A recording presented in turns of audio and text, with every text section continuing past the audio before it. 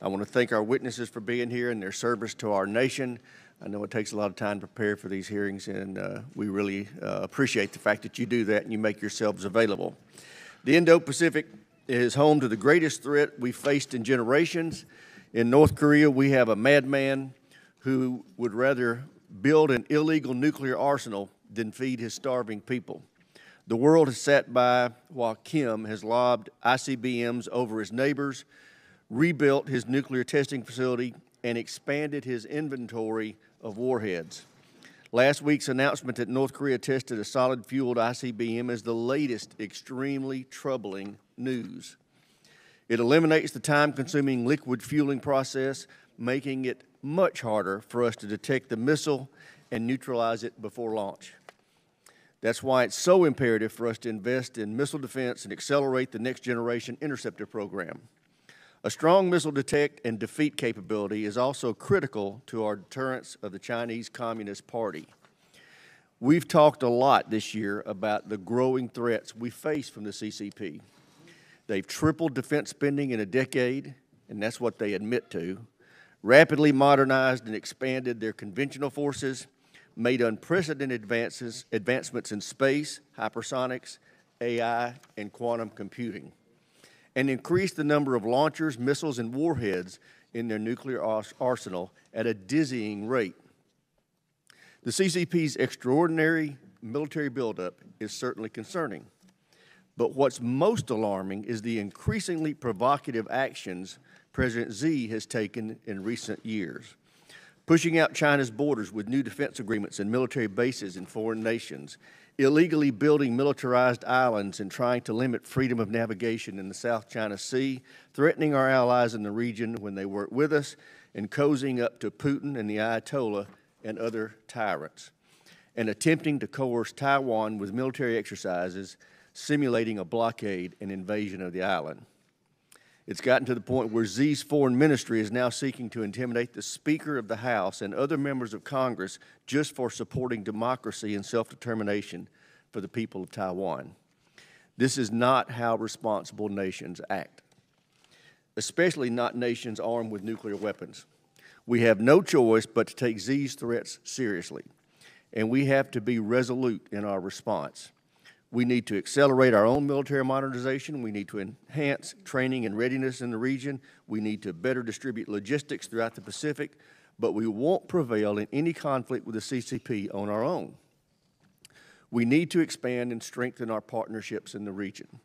We need to better arm our allies with agreements like AUKUS. And we need to expedite the delivery of arms and training to Taiwan so they can better defend their own democracy. But most importantly, we need to take action now. China is not going to give us 10 or 20 years to prepare for conflict.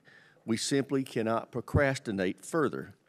I look forward to hearing from our witnesses on their assessment of the threats and uh, what they support uh, in, in, the need to, and what they need from this committee uh, to deter China. And with that, I yield to my friend and colleague, the ranking member, for any comments he may have. Uh, thank you, Mr. Chairman. I think you did an excellent job of outlining the threats and the concerns that we have in the in the two, in the theater in North Korea and uh, in the Indo-Pacific theater as well.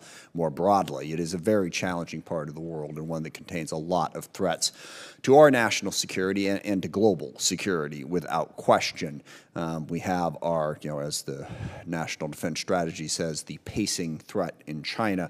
Clearly, our our largest competitor, both economically and militarily. And right next door, we have our most unpredictable rogue threat in North Korea, as you outlined their development of nuclear weapons and the way they are closed off from the rest of the world uh, that puts us in a position to not exactly know what the leverage points are to deter them and work with them makes them uh, a significant threat as well. I appreciate both of our witnesses being with us today uh, to help us walk through that. On, on North Korea, there's no easy answer to the question, but what is our best deterrent strategy? How do we contain that threat? Uh, given the nuclear capabilities that North Korea is developing and the unpredictable nature. How does one reach a country like North Korea that is so isolated from the rest of the world?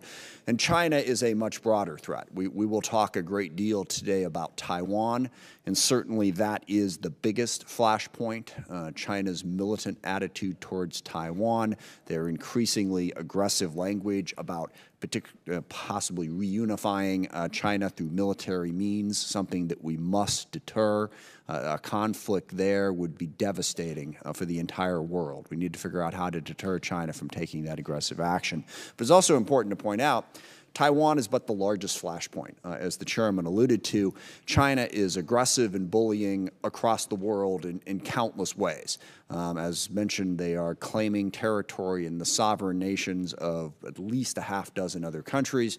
But also, the best way to think about the threat that China puts to the world is you cannot criticize China without them launching an economic war against you. And there are a number of examples of this, but Australia is perhaps one of the best. Back uh, during the pandemic, I think it was sometime in late 2020, Australia dared to suggest that China could perhaps be ever so slightly more transparent in how they were dealing with COVID. In response to that mild criticism, China literally launched an economic war against Australia. Um, now, one of the positive outcomes of that was Australia, you know, woke up and said, wow, you know, doing business with China is going to be problematic. We, we better find other allies and partners to deal with that. But it happens across the world. Lithuania said something about Taiwan that China didn't like. Same thing. But even in industry, um, if anybody in industry says something that China doesn't like, they will use their economic might to pummel that country or, or entity. Um, there was, uh, I think it was the GM for the Houston Rockets who said something pro Hong Kong.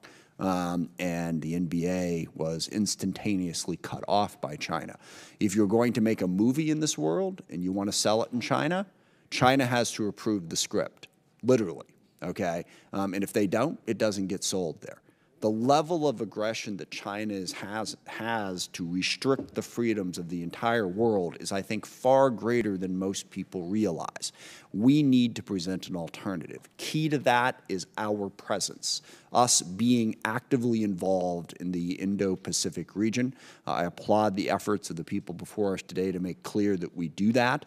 President Biden's national security strategy prioritizes China. We are present there. We will continue to be. We need to have that adequate deterrence, but we also need partners and allies. Um, I look forward to hearing from more witnesses today about those partners and allies.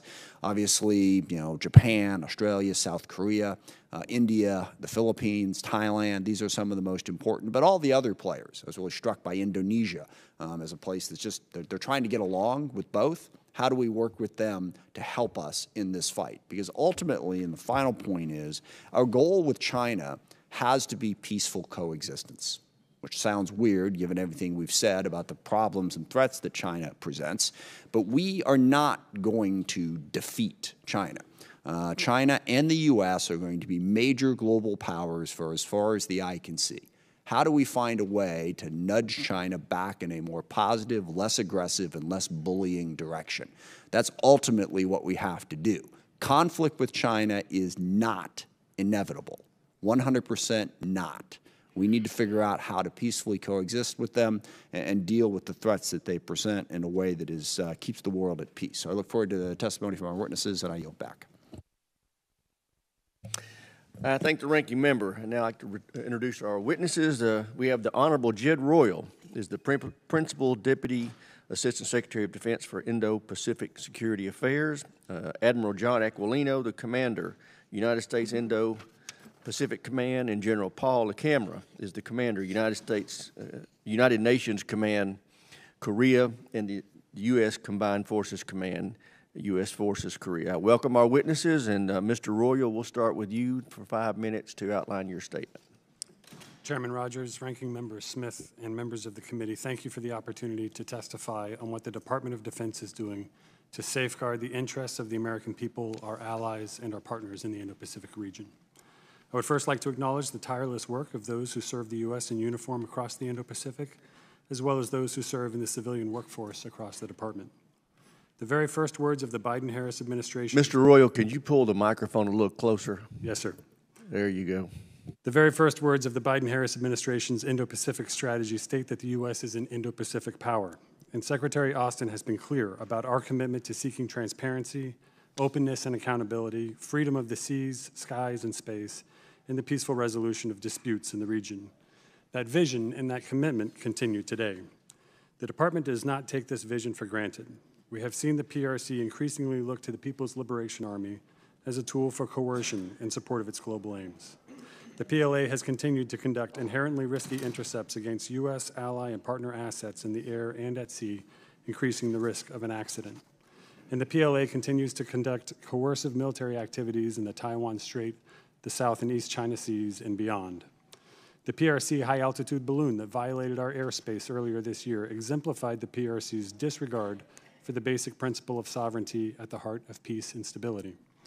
This is why the National Defense Strategy identifies the PRC as our pacing challenge.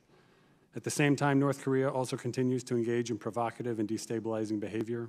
Climate change will continue to place downward pressure on peace and prosperity across the region, and violent extremism continues to require cooperation with our partners on counterterrorism. The Department of Defense is doing more than ever to strengthen deterrence and to ensure we can prevail in conflict if necessary.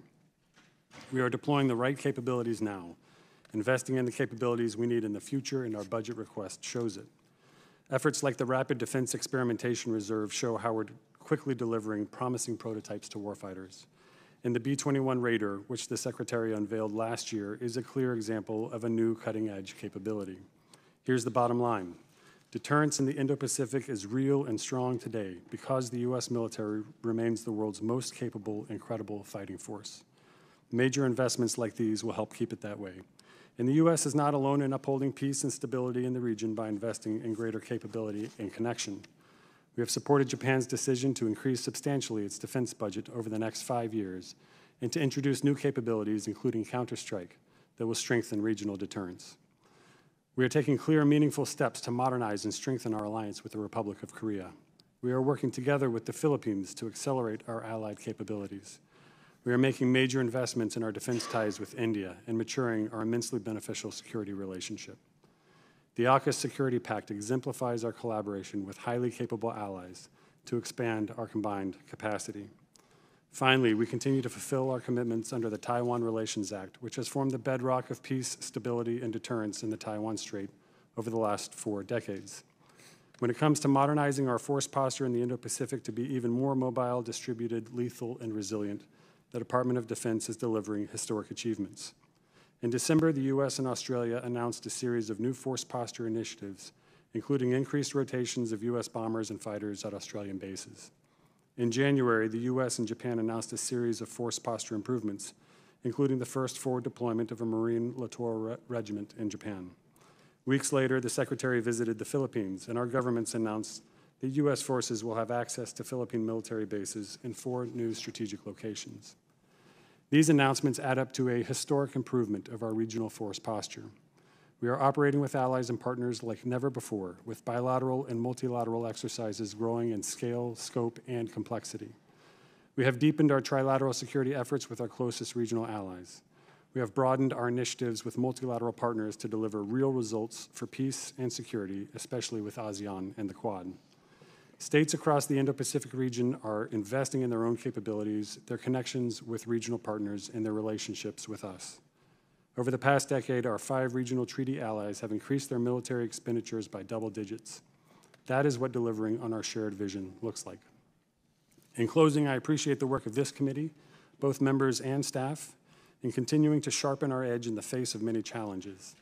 In the past several years, we have witnessed the growth of a strong bipartisan consensus around the scale and scope of the China challenge. We are working toward the transformation of that consensus into a coalition built around solutions. The Department of Defense is deploying the capabilities, driving forward the force posture, and deepening the alliances and partnerships we need to meet our pacing challenge. Thank you for your time and attention today. I look forward to answering your questions. Thank you, Mr. Royal. Uh, Admiral Aquilino, you're recognized. Uh, Chairman Rogers, Ranking Member Smith, and distinguished members of the committee, uh, first, thank you for the opportunity to be here today to discuss the Indo-Pacific region. Uh, first, just let me say that I appreciate and need your support and your uh, continuous support for the service members, their families, government civilians, and all who operate in the Indo-Pacific Command. And it is my distinct honor and privilege to serve alongside these brave men and women who execute our missions of deterrence and for defense every day. Uh, I can't thank you enough for all of your support. It's instrument, instrumental in our ability to accomplish these missions. But there's more to do, and we must act with a greater sense of urgency. Every day, INDOPACOM works tirelessly to prevent conflict, not provoke it. War is not inevitable, and it's not imminent. However, this decade presents a period of increased risk, and I say that for the following reasons, and they're real the illegitimate, illegal invasion and the war in Ukraine, the military buildup and malign behavior of the PRC, including a no limits relationship articulated uh, as a partnership with Russia continuous missile provocations and nuclear rhetoric by the DPRK, and the constant threat of violent extremism in this theater. Our national defense strategy identifies the PRC as the most consequential strategic competitor of the United States, and it's the only competitor capable of combining its economic, diplomatic, military, and technological capabilities to mount a sustained challenge and an attempt to displace the United States and the rules based international order.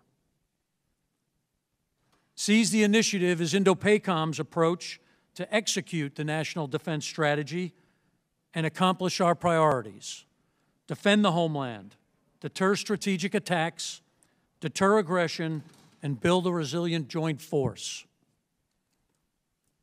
By design, this approach prevents conflict through integrated deterrence and it ensures we can fight and win should deterrence fails. Lastly, it provides the Secretary of Defense and the President options for any contingency. There are four key elements to seize the initiative. First, a robust theater posture. Second, a joint operations campaign comprised of lethal, persistent forces forward.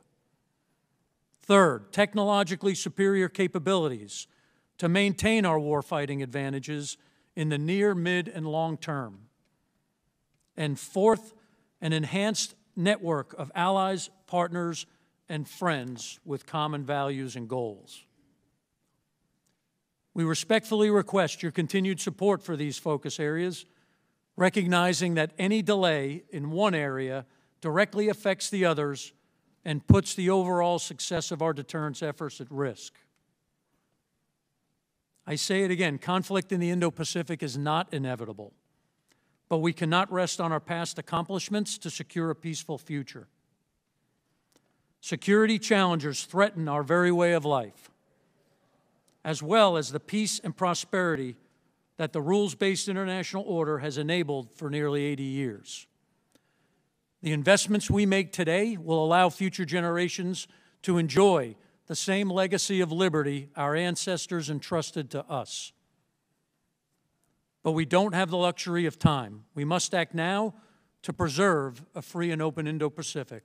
Thanks, Chairman. I look forward to your questions. Thank you, Admiral. Uh, General LaCamera, you're recognized for five minutes. Chairman Rogers, Ranking Member Smith, the distinguished members of the committee, thank you for the opportunity to appear before you as the Commander of the United Nations Command, Combined Forces Command of the United States Forces Korea to discuss the current situation on the Korean Peninsula. Korea is as important today as it was in 1950 when the international rules-based order was first challenged and successfully defended on the Korean Peninsula. Located on the Asian continent, the Republic of Korea is crucial to regional and global security. When North Korean communist forces invaded South Korea with the blessing and assistance of the Soviet Union and China, the United States along with 22 members of the United Nations, stood together with the South Korean people to expel the aggressors. The Korean War taught us that we must always be ready and forward postured with our allies. To ensure continued peace and stability on the peninsula, I have five priorities that are nested within the Indo-Pacific Commanders Seize the Initiative approach to ensure a free and open Indo-Pacific. My first priority is to defend the homelands, the United States and our allies. The Korean War has not ended. We're in armistice, and the Kim regime has developed capabilities that reach beyond Seoul, Tokyo, Washington, D.C., and the capitals of the United Nations command sending states. By defending forward in this strategic location, we better protect our people and the Korean people. Defending forward reinforces our ironclad commitment to the Republic of Korea. My second priority is to strengthen the United States and the Republic of Korea alliance. We must never take the alliance for granted. This is our center of gravity in deterring the Kim regime. The alliance has effectively deterred the Kim regime's resumption of large-scale aggression for almost 70 years, allowing security and stability to flourish and the Republic of Korea to develop into an economically prosperous, vibrant democracy.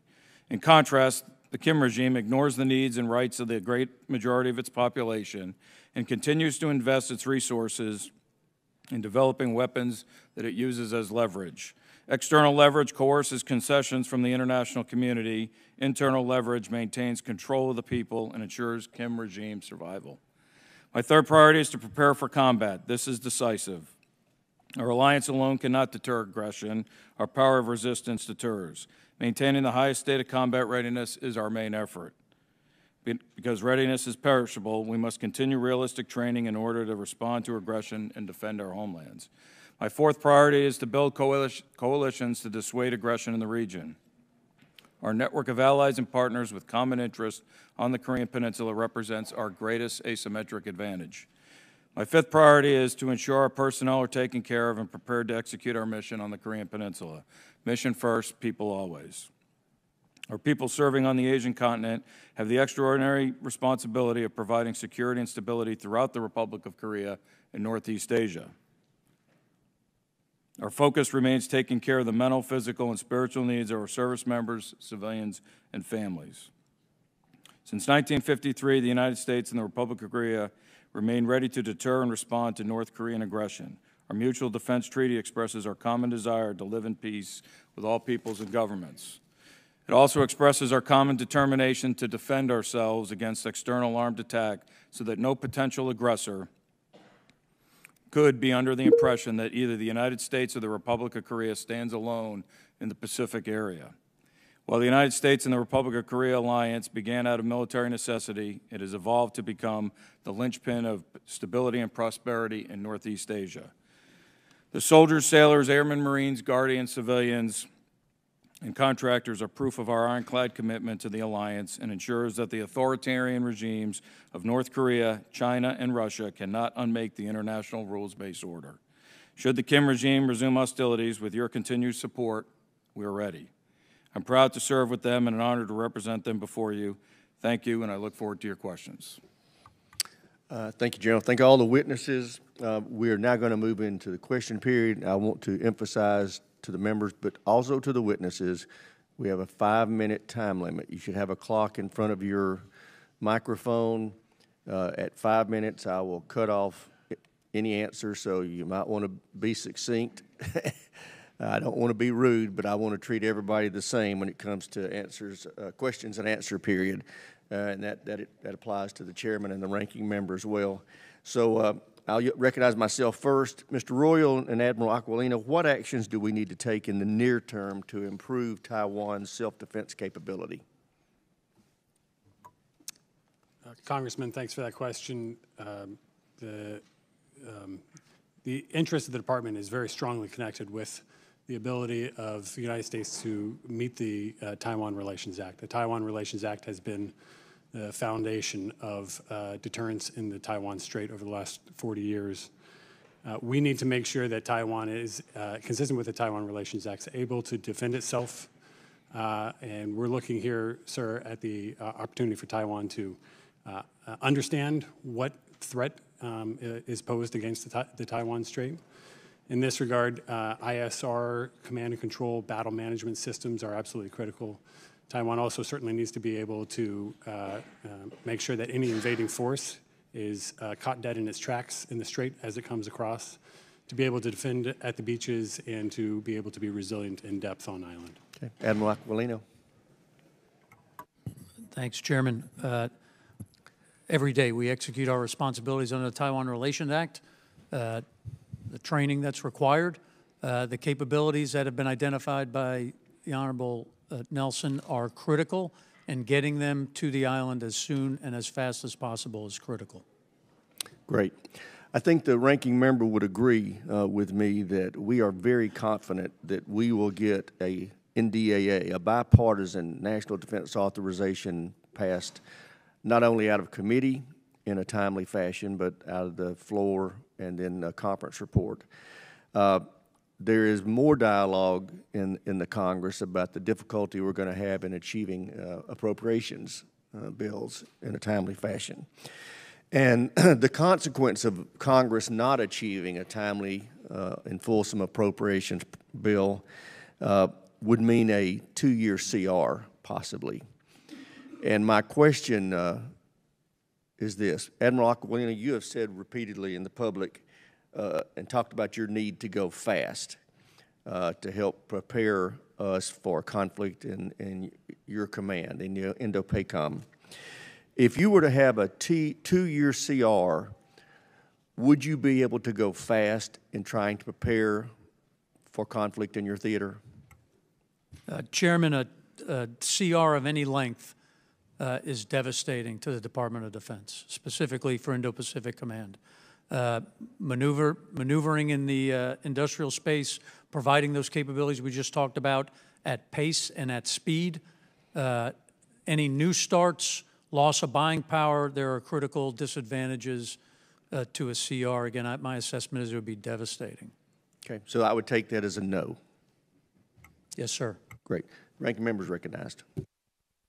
Thank you. Uh, just two questions. One, General LaCamera, how, what role do you see China playing in the North Korea challenge, uh, both positive and negative, in terms of containing that threat?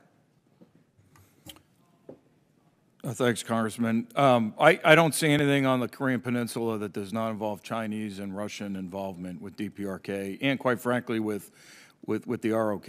Um, They have uh, put economic pressure on the Republic of Korea in the past, um, and, uh, but I, they also have their own people that are, that are stationed in the Republic of Korea.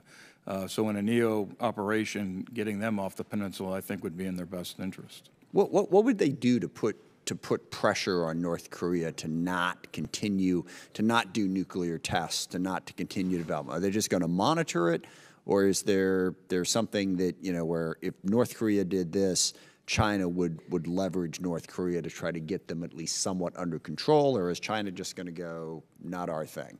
No, they, they have, they are our treaty, they're their only treaty ally. Right. Um, The borders are back open, um, so there's goods that are coming back and forth across the border. Um, I think he can put pressure on uh, DPRK in, in that respect. Okay. And, and Admiral Aquilino, when you look at the broader China threat in terms of our allies and partners, can, can you sort of walk us through that world of those partners? I believe we have five treaty allies in the Indo Pacific region. Um, but then you also have a lot of other countries that are navigating the world between the U.S. and China and Russia. And that's the piece that I find most interesting about this, the way this plays out.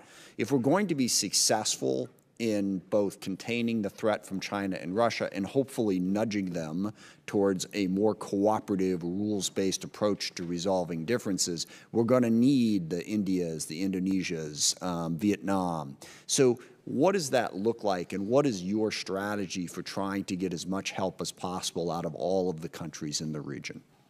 Yeah, thanks, Congressman. Uh, certainly, uh, foundational to our strategic deterrence approach uh, and integrated deterrence uh, is the allies and partners, and it's an asymmetric advantage. Let me just say that uh, the strategy and approach is competition, not containment. Uh, and the five treaty allies of Japan, Korea, Australia, Philippines, and Thailand are foundational, right? Those are mutual defense treaties uh, that stand uh, through Senate ratification and are truly important. But our approach is to pull in as many uh, additional allies through a uh, set of layers of mini and multilateral engagements, operations, uh, and work we do together uh, for a variety of reasons. Number one, we are like minded nations with common values. Uh, we have deep people to people ties, and that's beyond just the treaty allies. Indonesia, uh, Malaysia, uh, Bangladesh, all the nations in the region, and we operate and exercise with them frequently, 120 exercises a year, uh, deep engagements in the form of key leader and other events. So pulling that layer together, uh, Congressman, is really important, and it is the asymmetric advantage because it's the one thing China doesn't have, and that's partners. Thank you very much. I yield back. Chair, and I recognize the gentleman from Colorado, Mr. Lamborn. Thank you, Mr. Chairman, for having this hearing. Thank you all for being here. Admiral Aquilino, one of my top priorities is accelerating our work on offensive and defensive hypersonic capabilities. China's significant investments in their hypersonics, which they view as an important element of their regional warfighting strategy, are extremely troubling. Their progress is undeniable. In 2021, they did an around the world fractional orbital bombardment demonstration. They have intermediate range hypersonic capability that can hit targets thousands of miles away and po possibly uh, penetrate our defenses. And by contrast, our progress has been slow and has lacked urgency. And uh, I think we need, if not quantitative parity, at least qualitative parity. Can you share the challenges you face in deterring China based on their current superiority in hypersonics? And what is your best military advice on the need for the U.S. to field these hypersonic capabilities?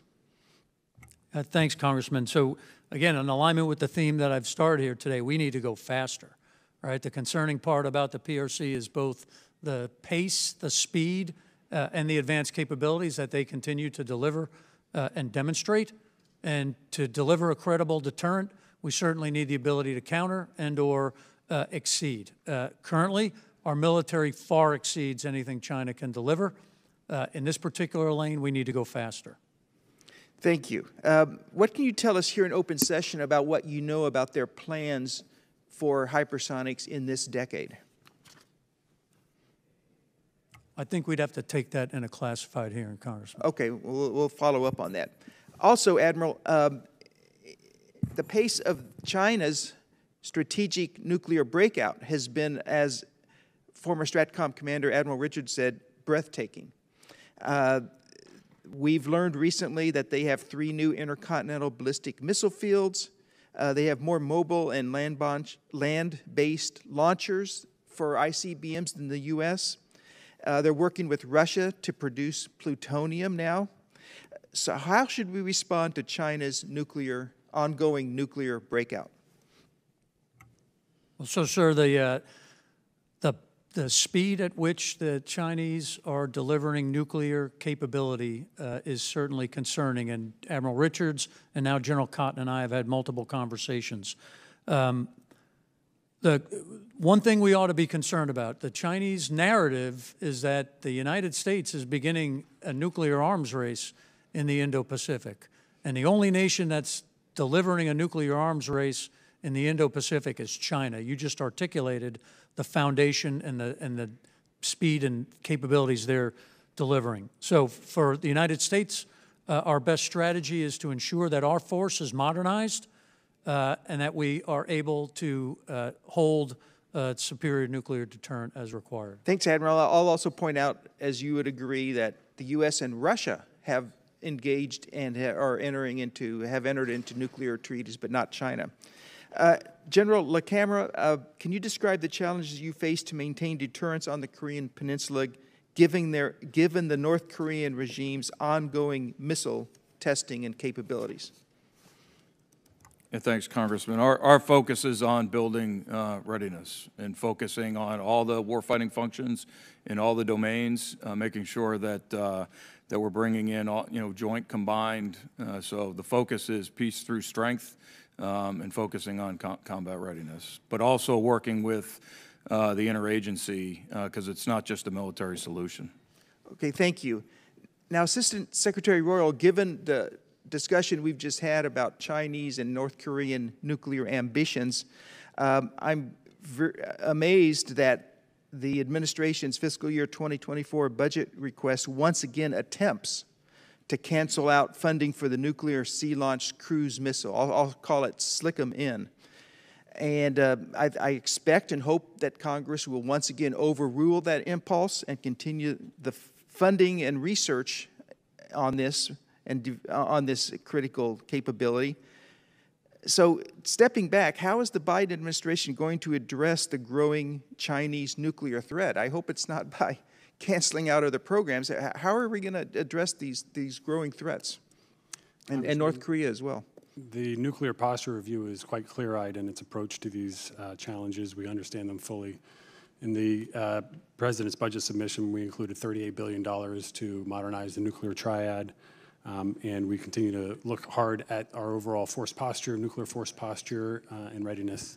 Gentleman's time's expired. Uh, Chair would like to recognize one of our former colleagues, a long-term member of this committee, John Kline, uh, Colonel Kline. Good to be with, you, have you back with us. Uh, Now, we'll go to uh, recognize Mr. Courtney for five minutes. Thank you, um, uh, Mr. Chairman. Thank you to the witnesses uh, for being here. Just one quick point regarding the um, sea launched um, missiles. Last year's budget, we actually included $25 million to have a fully thorough investigation by the Navy in terms of just the, the costs as well as the benefits of that program. So um, there's no, whatever sort of is out there, we did not kill that program, but we really need to understand with our eyes wide open what the operational impact will be for our ships and submarines if we start installing uh, nuclear warheads on, um, uh, you know, attack subs or uh, other ships. Um, Admiral Aquilino, in your testimony, uh, you inventoried all of the new cooperation that's going on with allies in the Indo-Pacific region over the last year, and I'm very impressed, even just within the last few months. Um, it's really quite striking in terms of how quickly things are, are moving out there. Last month, um, at Naval Base Point Loma, uh, President Biden, uh, Australian Prime Minister Albanese, and UK Prime Minister Sunak released the what they call the optimal pathway uh, to uh, implement AUKUS, which um, invo- which uh, will include. Uh, transferring to Australia uh, conventional armed nuclear powered um, submarines. Congress has work to do in terms of enabling that um, execution uh, of the, of the agreement in terms of just dealing with um, export controls and other, other issues there. But from your standpoint, can you state what the strategic benefit of this arrangement is um, in terms of sharing these precious assets? I mean, we're recapitalizing our own submarine fleet at the same time, but uh, again, can you just sort of talk about what you see as the value uh, of that um, arrangement? Yes, Congressman, the, well, we articulated the concern for the strategic environment, right, as, as the PRC takes more aggressive actions. I think all of our partners are seeing that same activity, and it's got them concerned. So our, our work with uh, both Australia and the United Kingdom, as it applies to sharing some of our most sensitive technology in the form of uh, nuclear propulsion and nuclear-powered submarines, uh, is a really large step. So uh, as it applies to deterrence effect, uh, additional nations with the capabilities that we have being completely interoperable at any point over the globe uh, brings a strong deterrent value to the problem. Thank you. And I think, as you know, I mean, the last time we did this was with, and we've only done it once, was with one country, and that was in 1958. So, I mean, obviously, this is a huge step. Um, and again, can you just talk about Australia's, um, you know, um, position regarding stewardship uh, of, of uh, these submarines, which is going to require obviously some training up to, you know, for their Navy, but also just again their commitment to, uh, again, complying with the Nuclear Non-Proliferation Treaty, but, know, and also having their own sovereign control over that fleet. Yeah, Congressman, so as we know, Australia is one of our strongest partners and allies. Uh, They have shared blood and treasure with us uh, for over 100 years in every conflict uh, we've ever been in. Uh, Again, when you talk about people-to-people ties, they're deep, our values, our interests. Uh, So having the Australians as a part of this program, I have no worries at all about, uh, you know, losing that technology elsewhere. They will treat it uh, at the highest level. Uh, We also treat other technologies with the Australians uh, as it, as it applies to space and cyber in the same kind of vein. So uh, I have no concerns about Australia taking this on and being able to be successful. And from uh, my position, we're taking actions every day uh, to ensure that we can deliver it as soon as possible. Well, thank you. And again, your comments about moving faster, um, you know, I, I think also applies to Congress in terms of really getting these authorities aligned so this thing can really move um, in, in the, in the, at the speed it, it requires. Um, Mr. Royal, you also mentioned the AUKUS um, agreement in your uh, testimony. And, um, you know, one other part of the president's budget that came over was um, new funding, additional funding, uh, 640 million for um, submarine industrial base capacity. Last year, we actually um, put 750 million. That's again workforce, supply chain, and facility. Again, can you talk about really how this is a critical piece of making sure um, that both our Navy uh, and also that the AUKUS agreement can be, um, you know, have the capacity it needs? Congressman, your point is spot on with respect to resilience of the uh, submarine industrial base. We believe that the budget submission there represents a sense of urgency with respect to maintaining the readiness of that force. I'm also proud that Australia has now committed to invest in the defense industrial base for submarines as well to the tune of $3 billion, and we're very confident that they will deliver on that. Uh, this represents a historic opportunity for us to be able to put increasing uh, assets uh, in the undersea domain and strengthen the interoperability with our closest allies. Thank you. Thank the gentleman. Chair, and I recognize the gentleman from Virginia, Mr. Wittman, for five minutes. Thank you, Mr. Chairman. I'd like to thank our witnesses for joining us today. Admiral Aquilino, I want to uh, begin with you. First of all, thanks so much for your leadership there uh, in the Indo-Pacific uh, Command. That is uh, an incredibly challenging time. We want to make sure we continue the effort to deter the Chinese Communist Party and make sure we can continue to maintain a free and open Indo-Pacific. We also want to make sure, too, that uh, the CCP and, and, for that matter, Beijing don't test our determination to make sure the Indo Pacific stays as a free and open place in the world. Uh, I always think back to your predecessor's testimony here in 2021 when Admiral Davidson said that he believed that China would make their move to reunify with Taiwan forcefully by 2027. So I want to revisit that a little bit, and I want to ask in your best professional military judgment, do you anticipate that Beijing will attempt to, by force, seek reunification with Taiwan before 2027? So, Congressman, uh, uh after having worked for Admiral Davidson, uh, I know he came up with 27 was based on what Xi Jinping said, which yeah. was the challenge to his military to be prepared uh, to execute if tasked by 2027. That was foundationally uh, the approach of his comments. Now, uh, for me, it doesn't matter what the timeline is. The Secretary can give me this mission today. So I'm responsible to prevent this conflict today, and if deterrence were to fail, to be able to fight and win. So the timeline, uh, everybody will have an opinion on when it is. Uh, I think everybody's guessing. Uh, the intent and need for the for the depart for INDOPACOM, the department, industry, and everybody to go faster uh, will help prevent this conflict. Let me ask this then. In your best professional military judgment, based on the buildup of the Chinese Communist Party and all their military assets and where we are today with what we bring to the table across the joint force, do you believe that the threat today is greater than it has been in the past? Uh, I believe that the th trends for the threat are in the wrong direction. Okay. There's no doubt about that. Uh, but I'm, but I will tell you, Congressman, that the United States military is uh, ready today for any contingency. As as you see the future of where China is going, where the United States is going, uh, when do you think the balance of forces will be such that it could it could motivate China to say, "Here is our opportunity"? Yeah, I, am not sure that it's a balance of forces issue.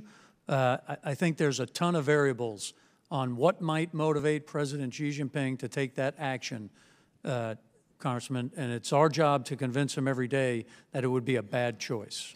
What is the most effective thing that we as the United States can do across the spectrum, strategically, economically, you name it, that has the greatest chance of deterring the Chinese Communist Party from forcefully reunifying Taiwan?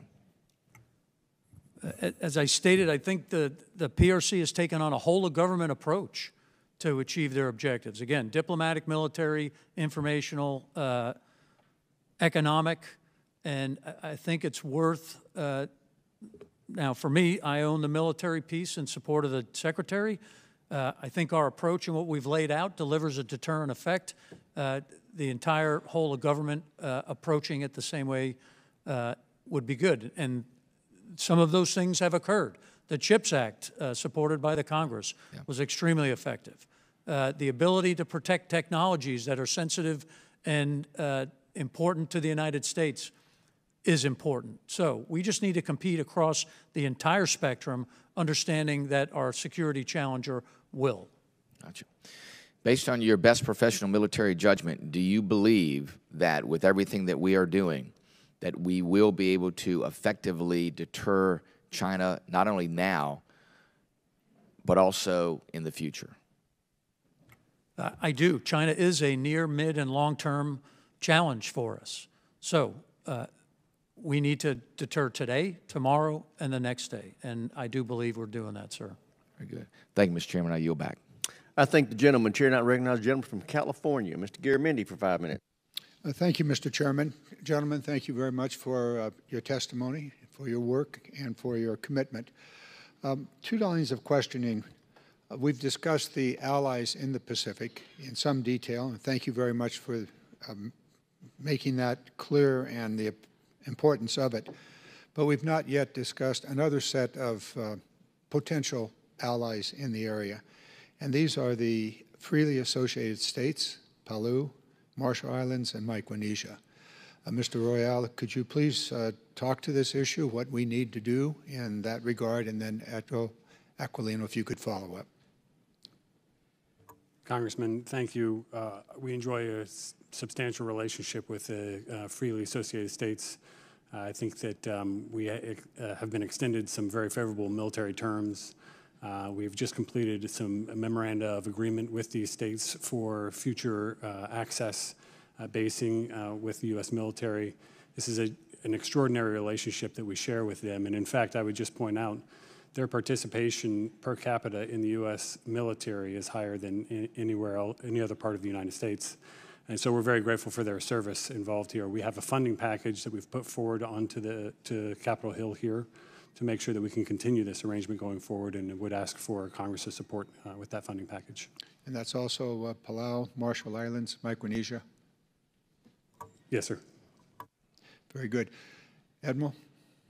Uh, Yes, sir. So I I just got back from YAP and Pohnpei. Uh, As was stated, the, the amount of people who have served in the United States military, uh, I met with about 25 people. I think 15 of them had service. Uh, Really impressive. Uh, That said, we defend the freely associated states as if they're the U.S. homeland. So that history goes back. They were critical to our success in World War II. Uh, They are critical, and they're strategically located. Uh, So it's really important we get this agreement done. Very good, thank you. Uh, I'd like now to turn to the Pacific Deterrence Initiative. 11 point, $11.5 billion authorized in 2023. Uh, Admiral, if you could uh, bring us up to date on the um, usefulness of that, what else you might need, or how you are deploying that $11.5 billion. Thank you, sir. The, uh, so as you know, this body has uh, passed a law that requires me to submit an independent assessment identifying the capabilities uh, and the needs from INDOPACOM to support uh, both the deterrence and defend the, uh, the nation mission. And as a part of this year's 1254, we identified the requirements uh, as needed. Uh, That language articulates that INDOPACOM should provide that input to inform uh, PDI. And as PDI is calculated inside of the department, uh, my, my needs were, were identified and recognized. In the upcoming uh, NDAA, do you have recommendations for enhancement, modification, changes in the language, or authorities? Uh, I don't, sir. I think the, the articulation uh, as it applies, I think meets both the intent of this body, and uh, I'm glad to provide my requirements. Thank you. I yield back. Thank the gentleman. Chair and I recognize the gentleman from Georgia, Mr. Scott, for five minutes. Thank you, Chairman. Gentlemen, thank you for being here. Uh, Ranking Member Smith started talking about China and uh, partnerships and, and how they conduct themselves. And, um, you know, it's pretty clear to those, those of us on this committee and paying attention that China, Communist China operates in the best interest of Communist China without regard for, for who they hurt or any of the rules. And I have every faith in the world that if a, if a situation kicked off with Taiwan, that between the United States and our, our partners, we could win that. Um, I'm concerned as the PRC has this whole of government, whole of world approach, though, that they're embedding themselves into the U.S. economy in such a way that um, even if we win the war, it would destroy our economy inside the United States. And Admiral Aquilino, are, are you aware that less than 15 days after Communist China flew the spy balloon over the United States, that Ford Motor Company announced a multi-billion dollar deal with Communist China to, to purchase their battery technology? Uh, I did read something about that, Congressman.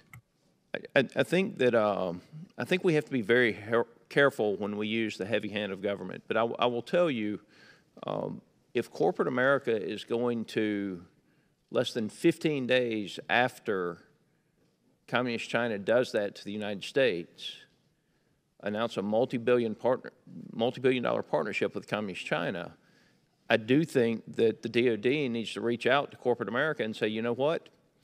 If you buy that technology from China, the DoD is not going to buy that technology from you. Uh, and and I, I, I just think this is one of those few instances where, where we're going to have to use that heavy hand to, to press back on corporate America and how, and how deep they continue to embed themselves with communist China and, and the financial ties there. Um, every faith in the world in our ability to beat China in a war.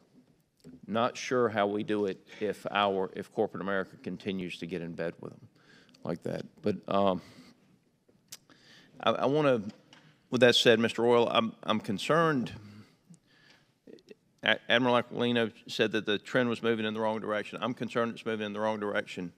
I was a little taken back at the president of France going, with everything going on between uh, Russia and China right now, right now in their alliance uh, in Ukraine. I was a little taken back that the president of France went and sat down with um, Xi Jinping. What is he trying to protect France, France's um, investments in Africa? What, what's going on there? Congressman, uh, we were um, in touch with the French counterparts um, uh, during the course of that visit, and we've been in touch with our European allies very closely about the challenges that we see the PRC representing in the Indo-Pacific region. Uh, We're very, uh, very much impressed with the nature and the trend of the NATO strategic concept and the way that it describes uh, the PRC challenge to Europe. We're also seeing progress in the EU's uh, new white paper and the way that they talk about China as well. So we believe that the conversation with Europe is advancing uh, with respect to the nature of this challenge. And we also appreciate the fact that the French uh, are sending um, surface combatants into the region and, and sailing uh, uh, where international law allows in the Indo-Pacific region. But he, but he did take. I mean, Europe is one thing. France, France is a part of Europe.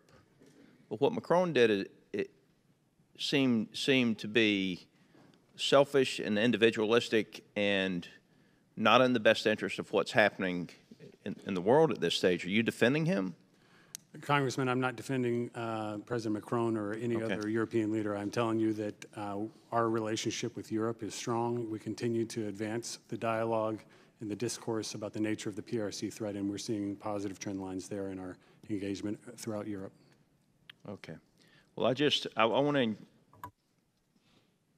I, I want you to know I have every faith in the world in, uh, in our ability to, to handle China militarily. I'm, I'm very concerned about what I saw. I think Ford Motor Company is the best example, where less than 15 days after the Chinese flew a spy balloon across the United States targeting U.S. military installations, Ford Motor Company, and for the record, I drive an F 350, I'm a Ford guy, partners with communist China on their battery technology. And, and, and I think that uh, we have to bust those alliances between corporate America and communist China up. With that, I yield. Thank the gentleman. Chair I recognize the gentleman from Arizona, Mr. Gallego, for five minutes.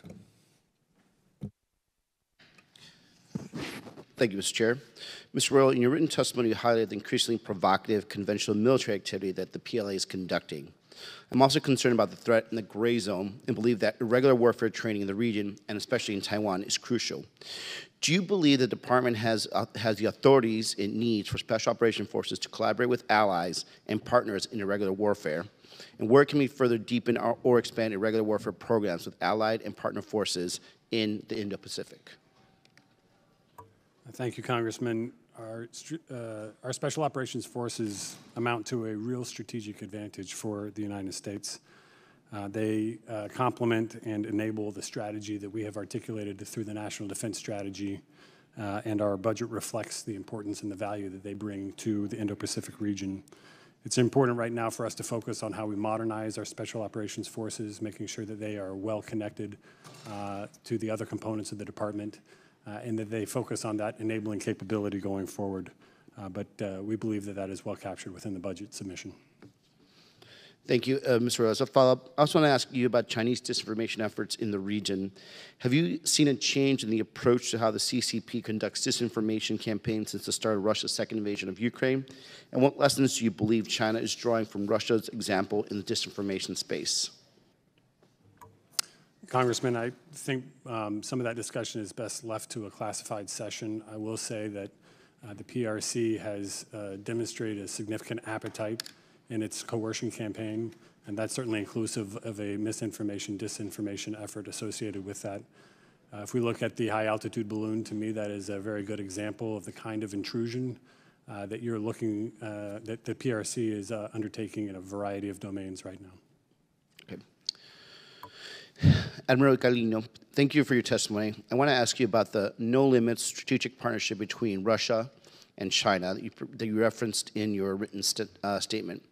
Can you talk about what this enhanced relationship means in practice for military forces in the region? And is there a tangible effect on the security situation in the uh, Indo-Indo-Pacific that we have noticed or we will be noticing? Uh, thanks, Congressman. Uh, this kind of ties to a couple of your questions here to, to Jed because uh, this is a different space, right? Two large uh, authoritarian nations coming together in an attempt to change the world order in ways that are beneficial to authoritarian governments vice the rest of the world. That's a pretty concerning space to be in. Uh, whether it's impact into the UN or ability uh, to stifle any uh, you know agreements that go forward, uh, that's the approach. They have no friends. They have identified that it is better if they're together in order to achieve their strategic objectives. That's a concerning world. It ties directly to the misinformation, disinformation question. The PRC has been echoing Chinese, or excuse me, Russian disinformation in direct support, uh, articulating that the war was, uh, their war against the Ukraine, uh, against Ukraine was derived from an expansion of NATO. Just not true. So misinformation, disinformation in today's day and age uh, is concerning. Weaving through that mess, and the PRC have a million-man propaganda arm to generate it. Thank you. And I yield back. Thank the gentleman. Chair now recognizes the gentleman from Tennessee, Mr. Dr. Desjarlais, for five minutes. Thank you, Chairman. Uh, Mr. Royal, on three separate occasions, we have seen President Biden commit the United States to the defense of Taiwan in a potential conflict with China, only to see his comments walked back by those in his administration. So I would ask, who is driving policy in this administration on China and Taiwan? Is it the President of the United States or unelected bureaucrats and appointees within the State Department, Pentagon, and White House? Congressman, the department stands by the Taiwan Relations Act, the three joint communiques, and the six assurances as the foundation of the, our relationship with uh, Taiwan. Um, we continue to believe that uh, that our relationship there is uh, aided well by the relationship we have. We've maintained it on a variety of levels with key leader engagements and, and tight cohesive uh, understanding of one another's defense requirements and we spend a lot of time talking about the, uh, the uh, PRC pacing challenge as, uh, as we're observing it operate in the region. Okay, well, we like to talk about strategic ambiguity. Uh, do you think President Xi has been ambiguous at all in his intentions on Taiwan? Congressman, we uh, agree with you that um, President Xi has been very assertive in his approach to uh, conducting a counter co- uh, coercion campaign against uh, Taiwan. Uh, we believe that he does intend uh, to build a capable force uh, that could stand to threaten Taiwan over time. And would you agree that our commander in chief has been pretty clear in his position on the United States' commitments to the defense of Taiwan? Uh, Congressman, I believe that uh, uh, the president has been clear with his intentions. Um, I certainly wouldn't want to speak for him. I will say again that the Taiwan Relations Act continues to guide our engagement with Taiwan, including supporting their self-defense uh, and making sure that we are in a position as the United States military to counter any coercive activity in the region. Well, what I struggle with on this committee when I go back home and talk to constituents, and I've heard other members say the same thing, is how do we message things like China, Taiwan? How do we message Russia and Ukraine? And it seems when we don't really know what the end game is, it's hard to do that. Uh, we've asked specifically, what's the end game in Ukraine? And there's not a clear a answer. Uh, is there a clear answer for what the end game would be if China invades Taiwan? Congressman, um, I won't engage in hypotheticals on future invasions. I will say that um, invasion is neither imminent nor inevitable. Uh, and the work that, uh, that we are doing in the department every single day is to focus on deterrence. And we do that by increasing our lethality, our posture, and our readiness. Uh, we'll continue to operate uh, uh, by the Taiwan Relations Act. Um, and we'll continue to work on counter coercion uh, readiness within the U.S. military to do that and to ensure that we are supporting Taiwan in their ability to defend themselves. Okay. We seem to be struggling uh, within the military on recruiting and other issues and morale. And I think maybe a lot of it is due to strategic ambiguity, and nobody really knows uh, what's going on within our military. We, we seem unclear about what our strategy in Ukraine is. We're getting mixed message uh, from our commander in chief and our State Department Pentagon on China Taiwan. Uh, in the past, I remember presidents going on TV and addressing the nation. We can only reach so many people from within this committee or Congress, and, and you guys have the same challenges. I mean, would it be important for the president to go on TV and, and maybe address the nation on what's happening in Ukraine, what our strategy is there, and, and what our strategy would be, and let President Xi know clearly where the United States stands, and maybe some of our allies would come along? Uh, Congressman, I'll defer to the White House on uh, the president's um, uh, on-air time. Uh, again, I think that the president is asking us to do the daily job of deterrence uh, and that he has submitted a budget that represents uh, a real qualitative investment in our ability to maintain deterrence in the region. Okay. Well, the saber rattling about blockades in the Taiwan Strait and certainly uh, China's aggression in the South China Sea, we know that uh, you know half the world trade goes through that area. It seems like, as uh, Representative Scott mentioned uh, a minute ago, what corporations are doing financially with China may be the best way uh, to get their attention. And certainly, they can have a blockade of things coming in. Uh, is it possible we could have a blockade of things going out? And it would impact all of us financially. But if the best way to to win this pending war is to not fight it. So uh, I guess I, I, would just like to see more unification of our allies, uh, more talk from Japan, Australia, and people who are committed, and maybe a better strategy economically to uh, help deter China. But deterrence did not work uh, with Russia, and I hope we can do better moving forward with China, Taiwan. And I thank you for you all being here today. Gentleman's time's expired. Chair, I recognize the gentleman from California, Mr. Khanna, for five minutes. Thank you, Mr. Chair. Uh, Admiral uh, Aquilino, thank you for your leadership. You've spoken about the importance of the strategic relationship uh, with India. I chair, uh, co-chair with Michael Waltz, the U.S.-India caucus. Uh, and on April 26th, we have a major summit with Secretary Mattis, uh, the ambassadors, others. I hope if you're in the country, you may be able to participate or send someone. But I would like you to reflect on the importance of the relationship. Post colonialism, uh, India and China had uh, a relationship to emerge as uh, uh the Asian uh, voice, uh, but that relationship now has really soured with a concern that there should not be a hegemon in Asia and that China is treating other countries as junior partners It seems to me that gives us an opportunity to ensure that China doesn't emerge as a hegemon, to strengthen the relationship with India, and I'd like to, to get your thoughts.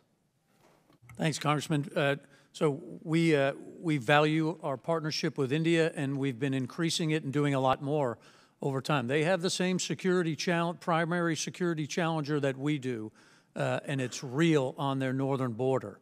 Uh, Two skirmishes now in over the past nine or 10 months uh, on that border as they continue to get pressurized by the PRC for border gains. So we have the same security challengers. Uh, We also have uh, the desire to operate together based on the, the world's largest democracy. We have uh, common values, and we also have uh, people-to-people ties for a number of years. I met with General Chauhan, my counterpart, uh, at the Raisina Dialogue not long ago. I've been to India five times now in the past two years. So the importance of that relationship can't be overstated. We operate together frequently uh, with the Quad nations. Again, the Quad is not a, a security uh, agreement, it's diplomatic and economic, but the Quad nations come together often to operate together in multiple exercises. So we continue to work to be interoperable and to expand the relationship. I appreciate that, and we'll follow up with your office if you are in the country or have someone for the April 26th summit. Uh, one question, uh, I was out with uh, uh, Representative Mike Gallagher, who chairs the China Select Committee, and we were out at Stanford. And I was struck by uh, Oriana Skylar Mastro, uh, who's a professor there, and she wrote in the paper the Taiwan temptation uh, and a concern that are we uh, deployed enough? Do we have the capability if there was a blockade or uh, an invasion of Taiwan? And in this article, she makes the argument that, that we don't, that we don't have enough uh, long range missiles to actually shoot down Chinese ships, and that uh, this makes our deterrence weak. I mean, I'm not summarizing in all detail, but that was the gist of it. Do you have a sense, or anyone on the panel, if, if that's accurate, do we need more capability to uh, make sure we have effective deterrence? So today, Congressman, let me just articulate that the uh, Indo-PACOM Command is ready and prepared for any contingency. That said, as we talked about before, the, uh, the uh, Challenger is moving fast, experimenting and delivering additional capabilities. And I think that uh, the department's budget, uh, as it applies, uh, and again, I've given my 1254 report to articulate the capabilities that I think I need. So uh, the delivery of those, and again, at speed and as fast as possible, uh, I believe uh, would continue that deterrence both today and into the future. Mr. Congressman, I would add that we are deeply interested in seeing increasing responsiveness from the U.S. Defense Industrial Base.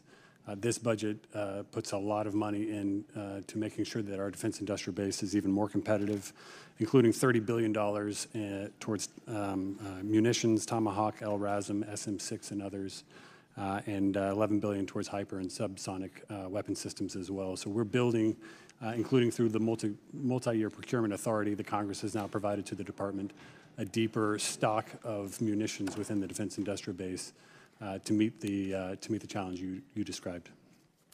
Thank you. I would just say that, uh, from my perspective, the more we can do to have effective deterrence that China understands, the better in terms of uh, avoiding war. And so I would be interested in hearing how we can have the most effective deterrence possible. Thank you, Mr. Chair. I thank the gentleman. Chair, and I recognize the gentleman from Wisconsin, Mr. Gallagher, for five minutes. Thank you, Mr. Chairman. Um, Admiral, uh, the FY23 NDAA directs DoD to conduct war games, tabletop exercises, and most importantly, operational exercises with Taiwan's armed forces. Uh, I sort of view this as the least expensive way to build operational expertise and create a force capable of deterring an adversary. When can we expect to see the first exercises between the U.S. Navy and Air Force and their Taiwanese counterparts? Uh, So, uh, Congressman, thanks. I'd like to talk to you in a classified hearing about the schedule for our operations. I think that'd be most beneficial. When you, uh, I guess, in an unclassified setting, um, when you war game these scenarios, put aside the operational exercises, are you assuming some level of interoperability with Taiwanese forces? Uh, Absolutely, both. uh, As you know how war games work, right? You can pick the time. We can war game, what does today look like? What does two years from now, what was four years from now look like? So we, we look at all those. In order to ensure that we got a broad view and we leave no uh, holes in our understanding and analysis. While we're on the subject of wargaming, uh, tomorrow night the Select Committee on the Chinese Communist Party is going to be conducting um, a, a war game, um, and I think for a lot of our members will be an opportunity to participate in a war game that haven't uh, done that before. It's going to be Taiwan focused, Indo-Pacific focused. Uh, usually when we run these war games, uh, one thing quickly becomes apparent. We, we go Winchester on critical weapon systems. We run out of um, long-range fires in particular. Um, uh, I would be curious to get your, your view on that. What worries you about the stockpiles of of long-range fires that we have west of the international date line, and, and what do you think is our best way to start replenishing our stockpiles and make sure that you have what you need in theater prior to the shooting starting? So th- thanks, Congressman. First, let me just make sure, uh, I want to make sure how you know I look at war games, right? Wargaming is an, a learning objective. So when people talk about, hey, who won, who lost, uh, wargaming is not about that. It's about learning and understanding vulnerabilities, uh, strengths and uh, helps you go forward and figure out how to adjust and what you might need. So uh, when you go into this event, I, I hope they're looking at it in the same way. Uh, with regard to the munitions piece, again, I'd like to talk in a classified uh, setting over the specific issues. That said, I'm not too worried um, as it applies to our ability to deter and then deliver effective contingency operations if required. You're not too worried? you said? Uh, I am, I am not worried.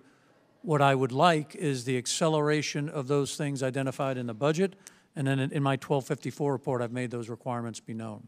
Interesting. So even in a, a, a scenario that goes kinetic, you're not worried about the sufficiency of our stockpiles and our magazine capacity right now? Uh, I'm not worried about the United States' ability to respond. Again, we can talk about specific munitions in a classified setting. Okay. I got, I mean, that surprises me. I guess it, it, count, it, it goes counter to what little I know from playing a, a, few war games here or there, but I'm not living it in the, the Indo-Pacific um, every day like you are. Um, quickly, General, uh, I believe this year, at the end of July, we will celebrate the 73rd anniversary of the Korean armistice agreement. Um, uh, this is, you know, referred to as America's forgotten war. The irony is that in, in China, they have not forgotten it. In fact, they, they celebrate it. The highest grossing Chinese movie of all time is The Battle of Lake Changjin, which is a, a sort of a creative retelling of the Battle of Chosin Reservoir, uh, sort of an oddball, historically focused question, but what lessons do you believe that this forgotten war offers for contemporary national security strategists and planners? Thanks, Congressman. Be ready. I mean, that's, you know, uh, the uh, this kind of war, you know, we weren't prepared. So what, what this has for us is my main effort of being prepared, combat readiness, and evolving as the enemy evolves, um, and looking at it through not just a land fight, um, but making sure that we can fight in all the domains and we have the capabilities to be able to, to be able to do that. And um, so it'll be the 73rd anniversary of the beginning of the war and the 70th anniversary of the armistice, uh, which we're going to celebrate uh, throughout. We've been celebrating throughout the year, but it'll culminate in, uh, in the fall time with the Koreans.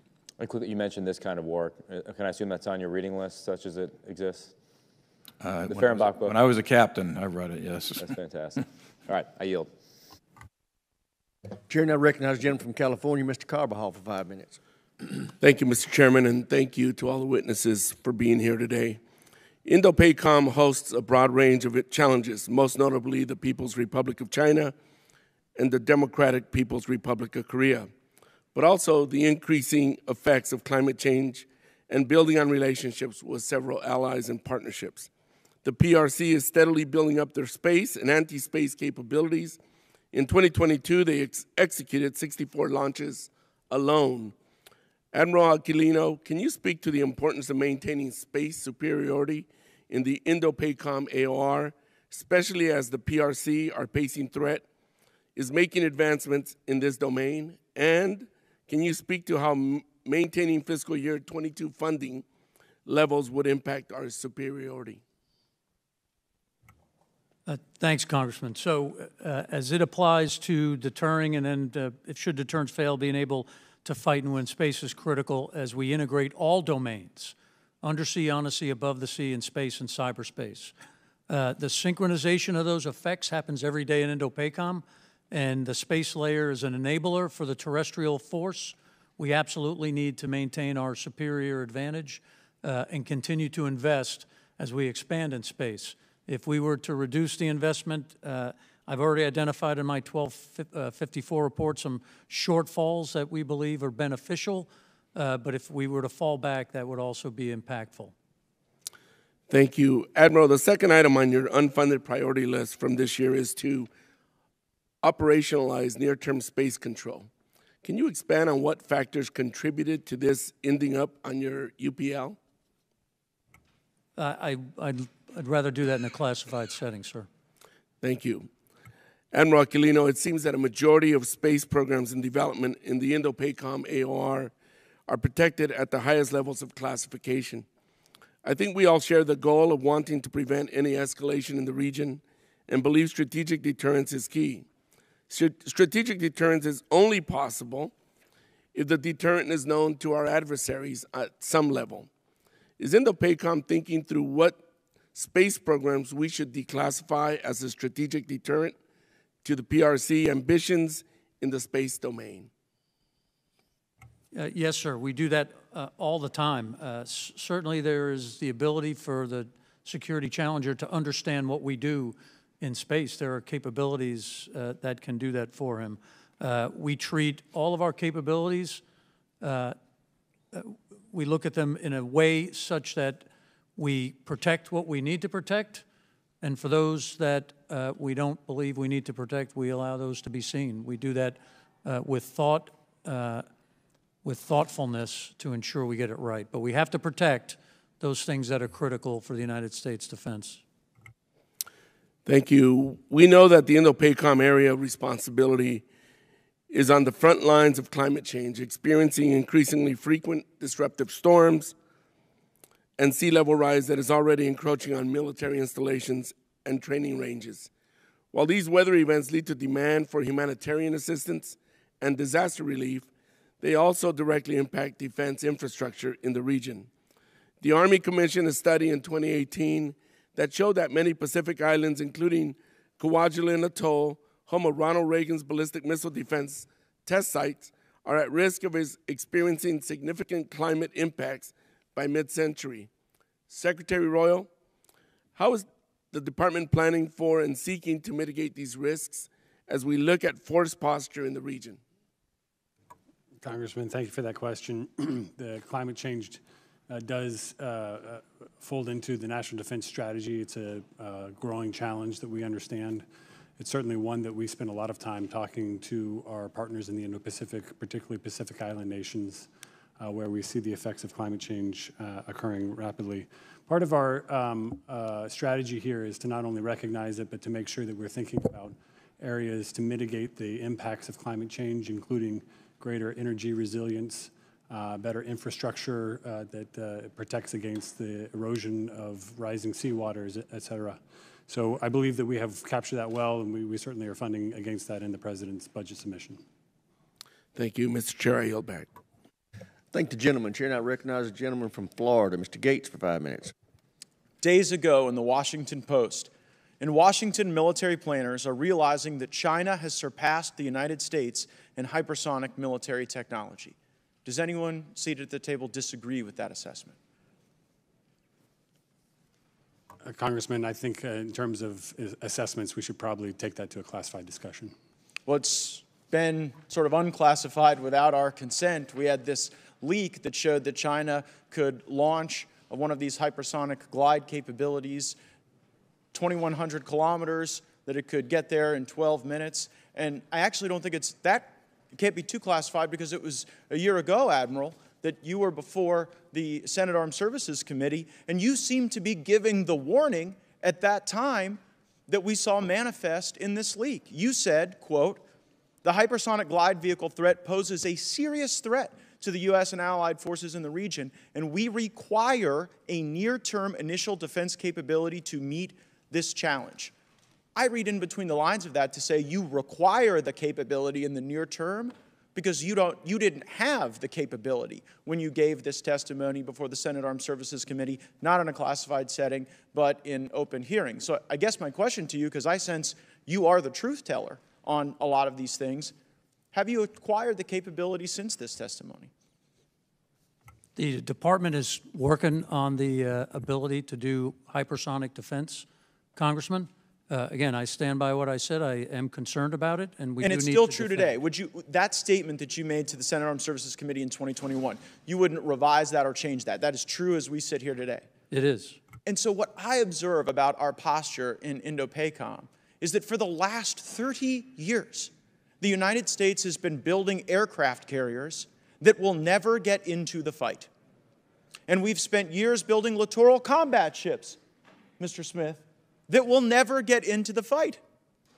And while you have been giving us the accurate information, you gave it to us now, you gave it to the Senate a year ago, the truth is we have not made a sufficient investment in hypersonic defense in order to ensure that we have this credible deterrent threat. Isn't that right, Admiral? Sir, if you look at uh, the report as it applies to our Guam defense system, uh, we have identified the need for that capability. Right. And so I I guess tell me, how do our littoral combat ships ever get into the fight in a, in a China-Taiwan scenario?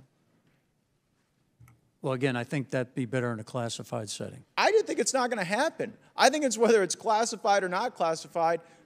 Can we hit a moving target with our hypersonic offense?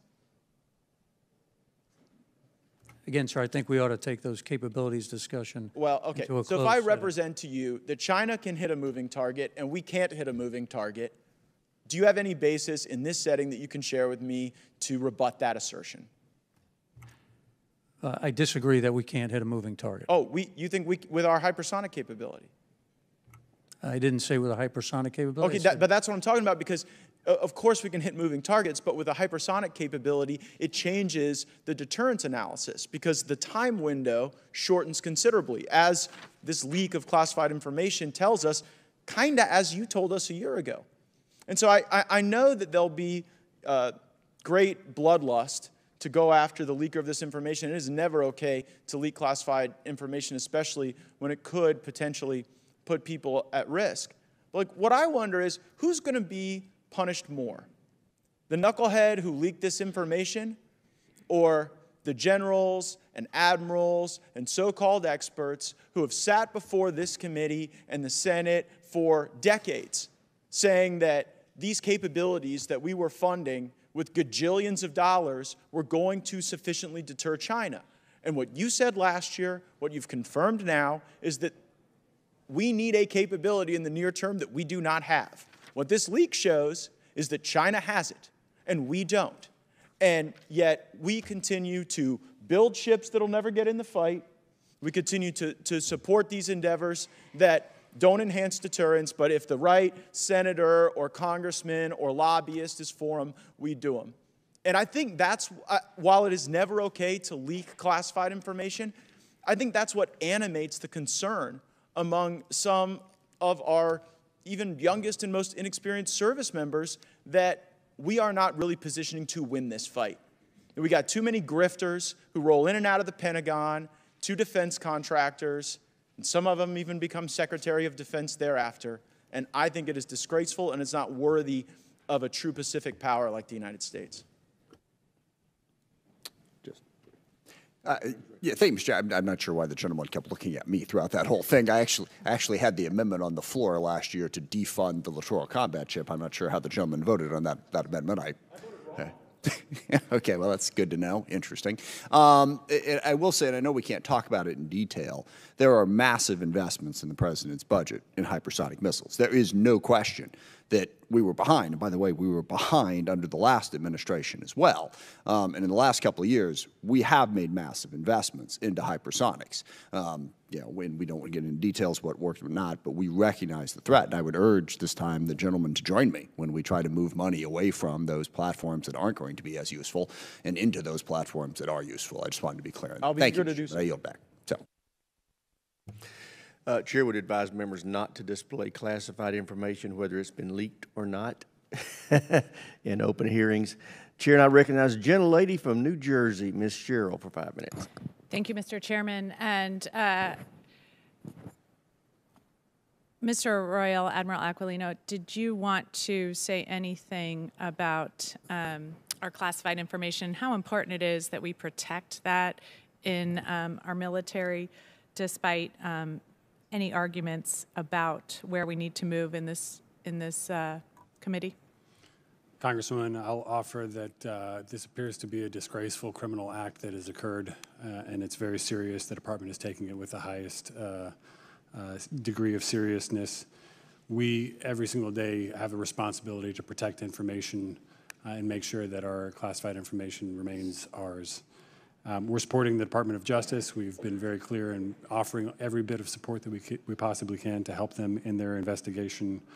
Uh, we're conducting outreach with allies and partners to make sure that they are also understanding what the position of the department is in this process. I do want to be clear on this point. This will not knock us off of our strategy, off of our campaigning approach uh, with integrated deterrence in the Indo-Pacific region. It is an exceptionally unfortunate situation that does come with national security consequence, but it will not knock us off of our approach. Thank you. I think the gentleman from Florida raised some very good points, but I, I just wanted to highlight that um, people put themselves, their lives, their families' lives in danger to bring us this information, and it's really important to me that we understand how dangerous it is to people working very hard for the United States of America around the world when these things are leaked. Um, thank you very much. I'd also like to thank you for your service and commitment to keeping our nation and our troops safe, especially as our country and the world grapples with a variety of complex and non traditional threats, including the increasing aggressiveness and nuclear posturing of North Korea, aggressive and coercive transgressions from China in the region, cybersecurity threats and disinformation campaigns, climate change and increases in natural disasters, as well as supply chain shortages. So, Indo-PACOM, the region uh, is not an easy one, but thank you for your service. Um, so, Secretary Royal and Admiral Aquilino, we are currently conducting our largest ever joint exercise with the Philippines. With the new leadership in the Philippines, how does our renewed relationship impact our freedom of navigation operations for sea lanes in the South China Sea? Uh, Congresswoman, uh, we are enjoying a strategic convergence with uh, the government of the Philippines in operating in a manner that's stronger than ever. Um, training, exercises, information sharing, and our ability to respond quickly to any kind of contingency that may arise uh, right now. Uh, I was really proud when uh, we were able to secure uh, access to four new strategic locations through the EDCA sites in the, uh, with the government of the Philippines. These will uh, offer the opportunity for uh, opening the aperture of our ability to respond with the Philippines um, in a timely fashion and responsive fashion to any contingency, particularly humanitarian affairs and disaster relief have already been identified there. Uh, we believe this relationship uh, has a lot of wind in its sails. It's definitely moving forward in the right direction, and we're seeing the uh, we're seeing the outcomes of that every single day. Thanks, Congresswoman. Uh, so again, the uh, mutual defense treaty with the Philippines is critical. Uh, they're a great partner. General Centino is my counterpart and a good friend. Minister Galvez, who just recently took over, is a wonderful partner, and they're facing some challenges. Right, the the PRC has claims that are inside uh, the Philippine uh, exclusive economic zone. Those claims went through an international tribunal. They were uh, articulated as they were not legal uh, in the international world order as, to, as defined. Uh, yet the PRC continues to pressurize uh, our Philippine counterparts. So it's really important that we continue to maintain support. We operate with them. As you said, Balikatan is going on right now.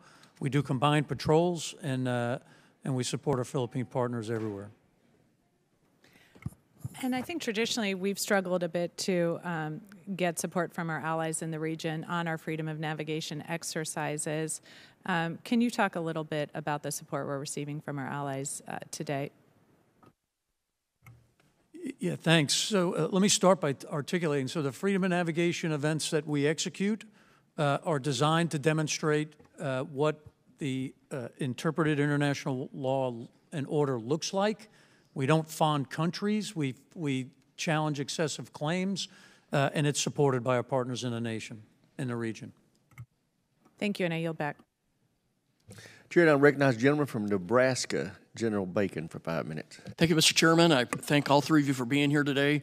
Uh, these are very important discussions, and your perspectives are vitally important.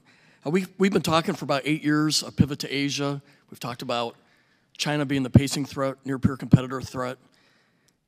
But I don't know that I've, we've, I've seen the talk, I've seen the strategy documents. I don't know that we've actually seen as much physical movement. So I'd ask you, Admiral, if I may, how, is, how much has the Navy increased its size or presence in the Pacific the last couple of years? Uh, Thanks, Congressman. So the Navy is, is postured. 60% of the maritime force is in the Pacific, 40% is on the East Coast. Has that been an increase over the last two years? Uh, It's been, uh, that's been in place now for at least three years. Three years. And a little bit before that. How about the Air Force? Because I've seen some units being withdrawn from the Pacific. Well, As we uh, uh, align and execute the National Defense Strategy, uh, the positioning of those forces uh, certainly would be beneficial to ma- be maintained inside of the First Island chain where they're postured. Our forward stationed air forces, uh, I have uh, supported those forces to remain in place and/or be replaced by equivalent capability and numbers. But is it, would it be accurate to say we've seen an actual decline in air order of battle in Asia? I just, I just, re- I just, I see the talk, but I don't know if I see the actual physical presence. Yeah, I'd, I'd have to go back and take a look at that, Congressman. Overall, the force has gotten smaller, right? There's no doubt about that. So uh, whether it's distributed or, or where it's been pulled from, and I have to go look at. One of the concerns that we have is over the next, or over the FYDP, the Air Force will shrink about, by about 400 fighters. What kind of concerns does this give you? Yeah, thanks, Congressman. I'm concerned about any removal of combat power from the Indo-Pacific theater. Yep, I would be too. thank you for, thank you for that.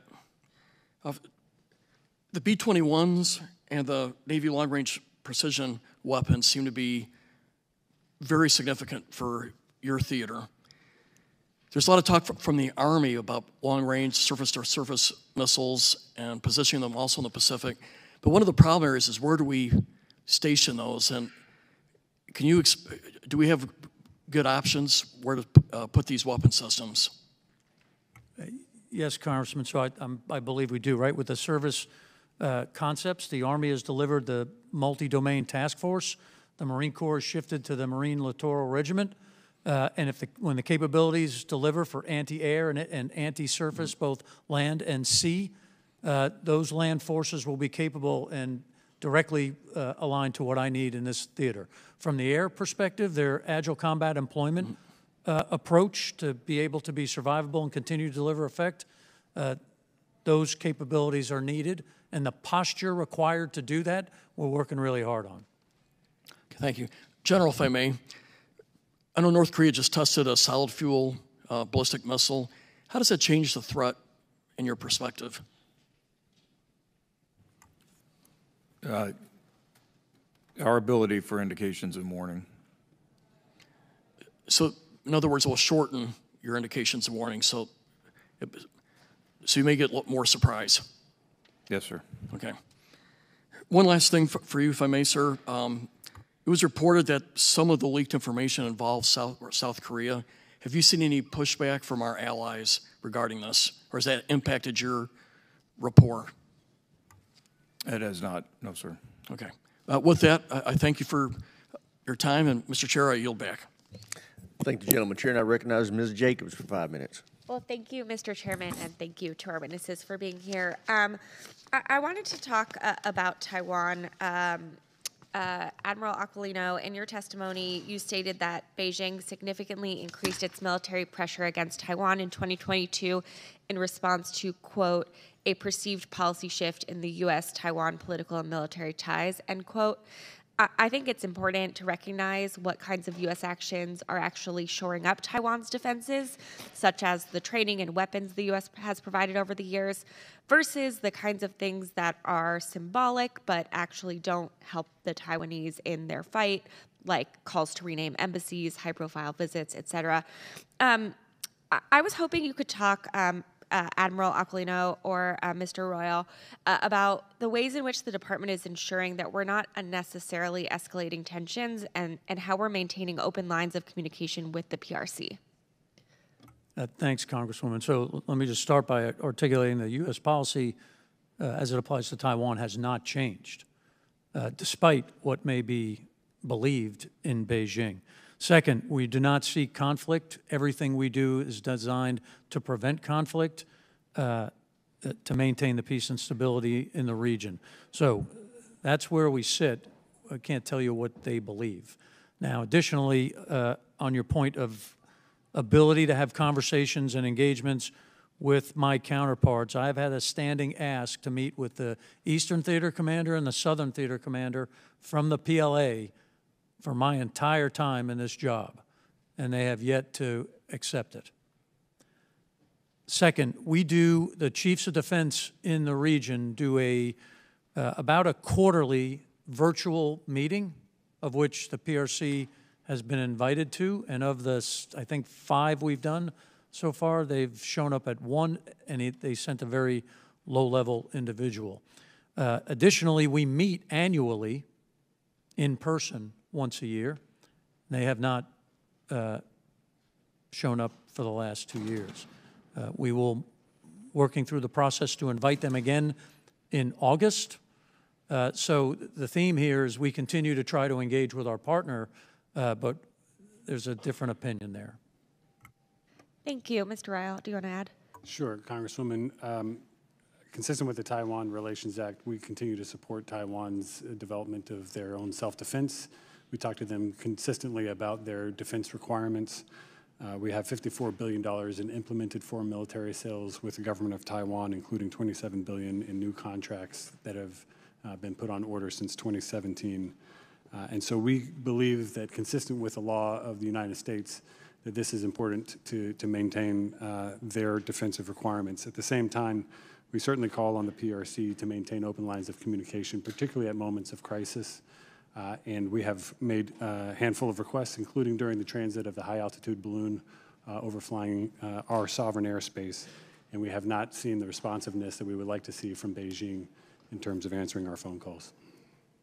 Thank you. Um, and um, as we consider our military presence in the Indo Pacific, I think it's incredibly important that we prioritize civilian harm mitigation, um, especially in our ability to convene our partners and, and build coalitions that we need to do. And as you guys well know, um, DoD's Civilian Harm Mitigation and Response Action Plan um, provided critical guidance on how to minimize harm. Um, I think implementing the recommendations outlined in the plan, such as enhanced training and better communication with local communities, will be um, really important. Um, Admiral Aquilino, could you talk about how implementing the CHIMRAP will change how military operations are conducted in the Indo Pacific region? Uh, Thanks, Congresswoman. So uh, we are certainly uh, always operating in accordance with the new guidance that's out there. We have taken that on. That said, we're currently not in a kinetic theater, but even in our peacetime operations, uh, we are always uh, focused on ensuring that uh, the rule of law is followed uh, to ensure we protect life of all participants in the region, and that we'll always operate that way. I, I appreciate that, and I think, as you know, the CHIMRAP requires combatant commanders to develop theater-specific training, um, especially that addresses cognitive biases, um, and especially as we are working with partner forces in the Indo-Pacific to make sure that they too are uh, addressing the civilian harm concerns and, and human rights. Thank you. I yield back.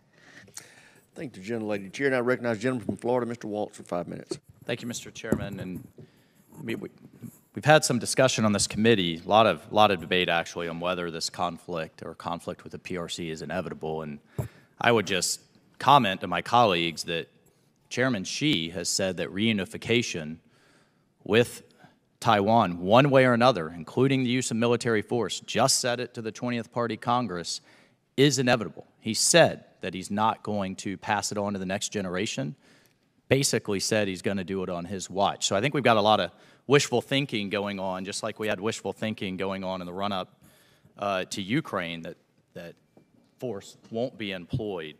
Uh, And, and with that context, Admiral Aquilino, thank you so much for your hosting of various congressional delegations. Uh, it's been incredibly informative. Thank you as well, General LaCamera. And one of the, the key takeaways I continue to take is the ambiguity amongst our allies uh, from these trips, key allies. Allies that, if we don't have use of their airspace, of their ports, uh, of their basing, that I don't see how we effectively come to the aid of the defense of Taiwan. And so I guess my question for you is, would greater clarity on our end, on the U.S.'s end and our intentions, help drive clarity with our allies? And I'll just tell you one quick anecdote. We, we in, in, in this last trip and in previous trips, we've been asking our allies, will you help us in the defense of Taiwan should it come to that? And the continual pushback is, well, when you tell us what you're going to do, we can make the tough political decisions what we're going to do. So again, do you think clarity on our end would help allied clarity, much like it has in Europe? Uh, Thanks, Congressman. Uh, Again, I'm not the policymaker, but what I can tell you is for the past 40 years, the policy has been successful. That's just historically uh, accurate. I, I think you'd have to ask the allies and partners. What I hear when I talk to them frequently is that, uh, you know, war is not desirable uh, for anyone in the region. Of course. So, uh, you know, as that applies, what I read into it is uh, they are supportive of our, appro- of our approach. They recognize that we're looking to prevent this conflict, and that's what's keeping us together. Right, but in the event that deterrence fails, like of, of course it's poverty is not desirable, war is not desirable, got it. But in the event that deterrence fails, as it has in Europe, you have to have those basing and overflight rights, right? Whether it's Japan, Philippines, we can go down the list. You have to have those operationally, correct, as operational commander. Yeah, the, uh, the need for access and basing and overflight as Can you assume today, tomorrow, in the near future that you have them? We don't assume those are choices of sovereign nations whenever the time comes. And I think it's reasonable then to say if the United States was clear we're coming to the defense of democracy in Taiwan, then it would drive clarity in the region. So, I mean, clarity in Europe, for example, uh, has deterred Putin in many ways from going beyond Ukraine. So, would clarity in the Pacific help you having that basing and access? Yeah, I think we'd have to ask the allies and partners, Congressman. I don't want to speak and, for them. And I'll just tell you another concern of mine, which we've talked quite a bit about, is clarity here amongst the American people. And one of the lessons that the PRC has learned from Ukraine is if they decide to do it, they have to do it quickly. Uh, we can't decide here in Congress where the bathrooms are uh, quickly. And so I think we need to have that debate now, not when amphibious ships are, are, are being loaded. Uh, Secretary Royal, why does Admiral Aquilino have a $3.5 billion unfunded list? Things like the defense of Guam, the defense of Hawaii, uh, secure communications. Why, if this is the number one threat, according to multiple administrations, does the man sitting next to you may be responsible for the greatest conflict in American history have $3.5 billion out of an $850 billion budget that you can't find to, to support that warfighter? Congressman, uh, first thing I'll say is uh, there is no daylight between Indo-Pacific Command and the Department of Defense. There should be no unfunded priorities for our number one threat. When we think about the prioritization of the region, there's absolutely no daylight between us. We prioritize and fully Just in the interest of time, um, why does it take two and a half years from congressional notification to contract award for harpoons for Taiwan? Two and a half years. Why? Uh, Congressman, I'm happy to follow up with you specifically on the harpoon discussion if that's helpful uh, to you. The contracting. We have to move more quickly. If the theme of today is we're running out Gentleman's of time. time Thank you, expired. Mr. Chairman. Chair, I recognize the gentleman, Mr. Kim, for five minutes. Yeah, thank you, uh, Mr. Chair. I actually I just want to kind of pick up on wh- where where we left off. Admiral, Admiral Aquilina, uh, Aquilino, you uh, just said that uh, the policy we've been implementing has been successful over the last 40 years or so. Uh, what, what policy were you referencing there? Our One China policy uh, and our alignment in accordance with the Taiwan's Relations Act, uh, the six assurances, three communiques. And is that, is that a policy that's also being implemented right now through that strategic ambiguity uh, approach? Congressman, yes, this is uh, the, the approach that we have taken with the Taiwan Relations Act, the three joint communiques and the six assurances. Uh, so if we're saying that, that this has been successful for last four years, do either of you see a need to change that policy at this point? Congressman, I would say that this policy has served us well, continues to serve us well. It allows us to be able to conduct all of the deterrence operations that we're currently conducting in the region, uh, and it allows us to be able to maintain the cohesion with our alliances and partnerships throughout the region that serve us very well. I I understand the, the, the, the desire about clarity, and I understand sort of that, how that could very well prompt some conversations that we aren't having right now.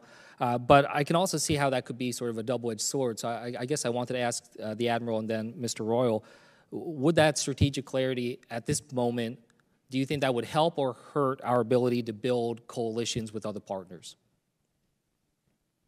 Uh, Congressman, I'll jump in first on that one. I, uh, I believe that we need to maintain constant contact with allies and partners about how they see uh, stability in the region. We need to listen to them. We're doing that regularly. I would also just add one point on clarity. Um, I think what is clarifying here is the results that we're seeing in terms of our engagements with allies and partners in the region. Tremendous amount of progress in terms of our posture, our readiness, our ability to interoperate with allies and partners. Uh, to be very clear, that is the clarifying element of our strategy in the region right now, and we're investing in all of those areas, and our allies and partners are with us. Admiral, anything you'd like to add here? Uh, Sir, I'm not a policymaker, so uh, again, as it applies, I'll execute uh, in accordance with. Uh, One thing that I do hear from a lot of uh, allies and partners in the area is about their concern regarding cybersecurity.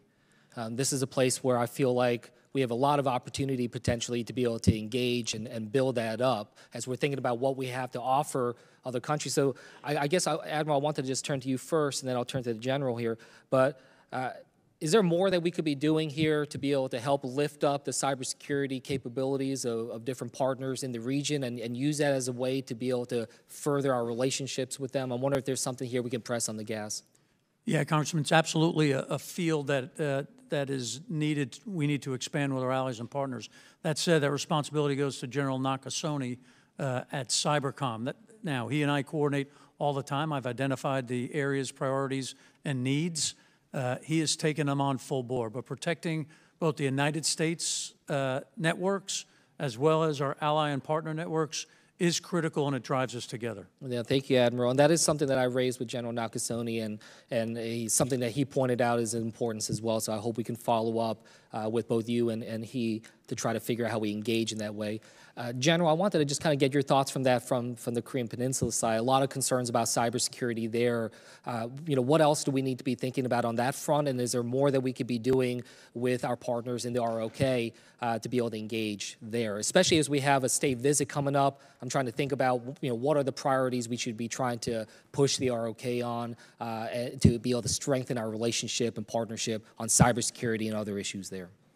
Yeah, uh, thanks, Congressman. Yeah, the focus is is on that protecting our information, uh, not just cyber, but the other other domains, and working with General Nakasone and his folks, but also working with the Koreans um, and the commands that they're standing up to make sure that uh, that we can protect protect this information. Uh, We've seen some developments, uh, uh, promising developments between uh, discussion between South Korea and Japan of, of recent. Mr. Royal, I guess maybe I'll just ask you, you know, is, is there an area there that we can try to, to again kind of push on the gas and try to see if we can help strengthen that kind of relationship there, but also see it as part of the, the kind of security architecture that we're trying to build? Congressman, just a couple of days ago, we were able to see uh, Japan and uh, the Republic of Korea uh, operate just off the waters of South Korea uh, together. These are the kinds of instances of examples where we're watching a growing uh, convergence in the strategic interests and a growing convergence in their willingness to. to Gentleman's time's expired. Chair now recognize gentleman from the great state of Alabama, Mr. Dale Strong, for five minutes. Thank you, Mr. Chairman. Before um, my questioning, I'd like to say for the record, any leak of classified documents related to the national security of America is unacceptable under any circumstance. Admiral uh, Aquilino, uh, my first question, Uh, I want to echo, echo uh, the remarks of the Chairman Rogers and saying thank you uh, for being so candid. Uh, your unfunded priorities list might as well be a highlight reel of what North Alabama does best. Uh, I know you have a close partnership with the Missile Defense Agency, SMDC, both call uh, Redstone Arsenal home. Uh, the number one, uh, the, the number one Indo-PACOM unfunded priority is for the Guam Defense System. The FY23 NDAA requires the Secretary of Defense to designate a senior DoD official to be responsible for the development and deployment of a missile defense system for Guam. Given your expertise, which DoD official do you believe would be best suited for this role uh, to reach the objective? Uh, thanks, Congressman. Again, uh, that current debate is going on. Uh, I'm not sure I know exactly who, uh, but I think that might be better for Jed to take as it's working through the building. Okay. Uh, let me rephrase it. Uh, what would you want to see uh, their expertise be uh, going into this role? What would be most beneficial to execute this? Yeah, I think it's somebody who could direct budgets, who could direct priorities, and then uh, work towards both delivery and sustainment. Thank you.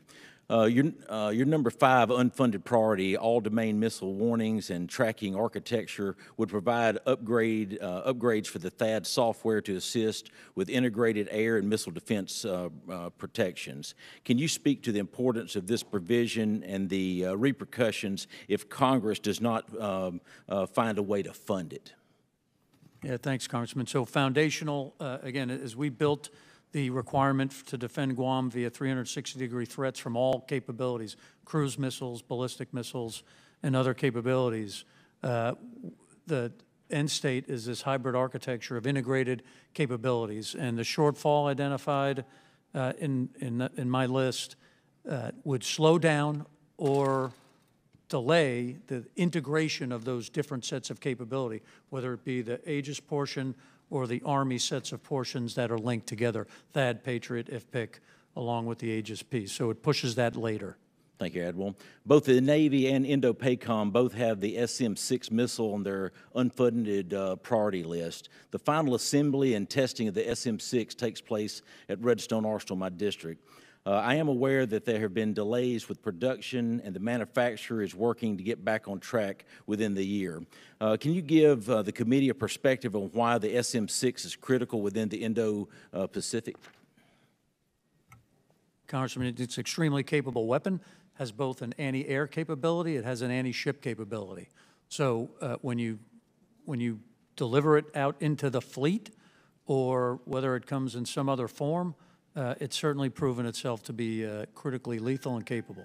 Thank you. As you shared your testimony in the 2022 China uh, completed 64 successful uh, space launches. This is concern, uh, concerning at face value, especially considering that uh, we're only uh, only 87 launches in 2022 from American carriers. I'm proud to say that the DoD's uh, top launch provider, which manufactures in my district, ULA, has a 100% mission success rate.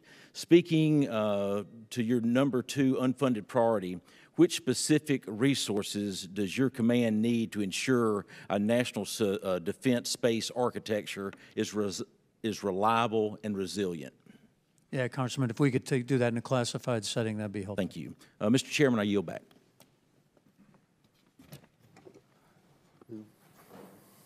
Chair, and I recognize gentleman Mr. Ryan for five minutes. Thank you, Mr. Chair. Thank you all for being here. Thank you also for your in-depth uh, written testimony. It was appreciated and uh, comprehensive, uh, so thank you.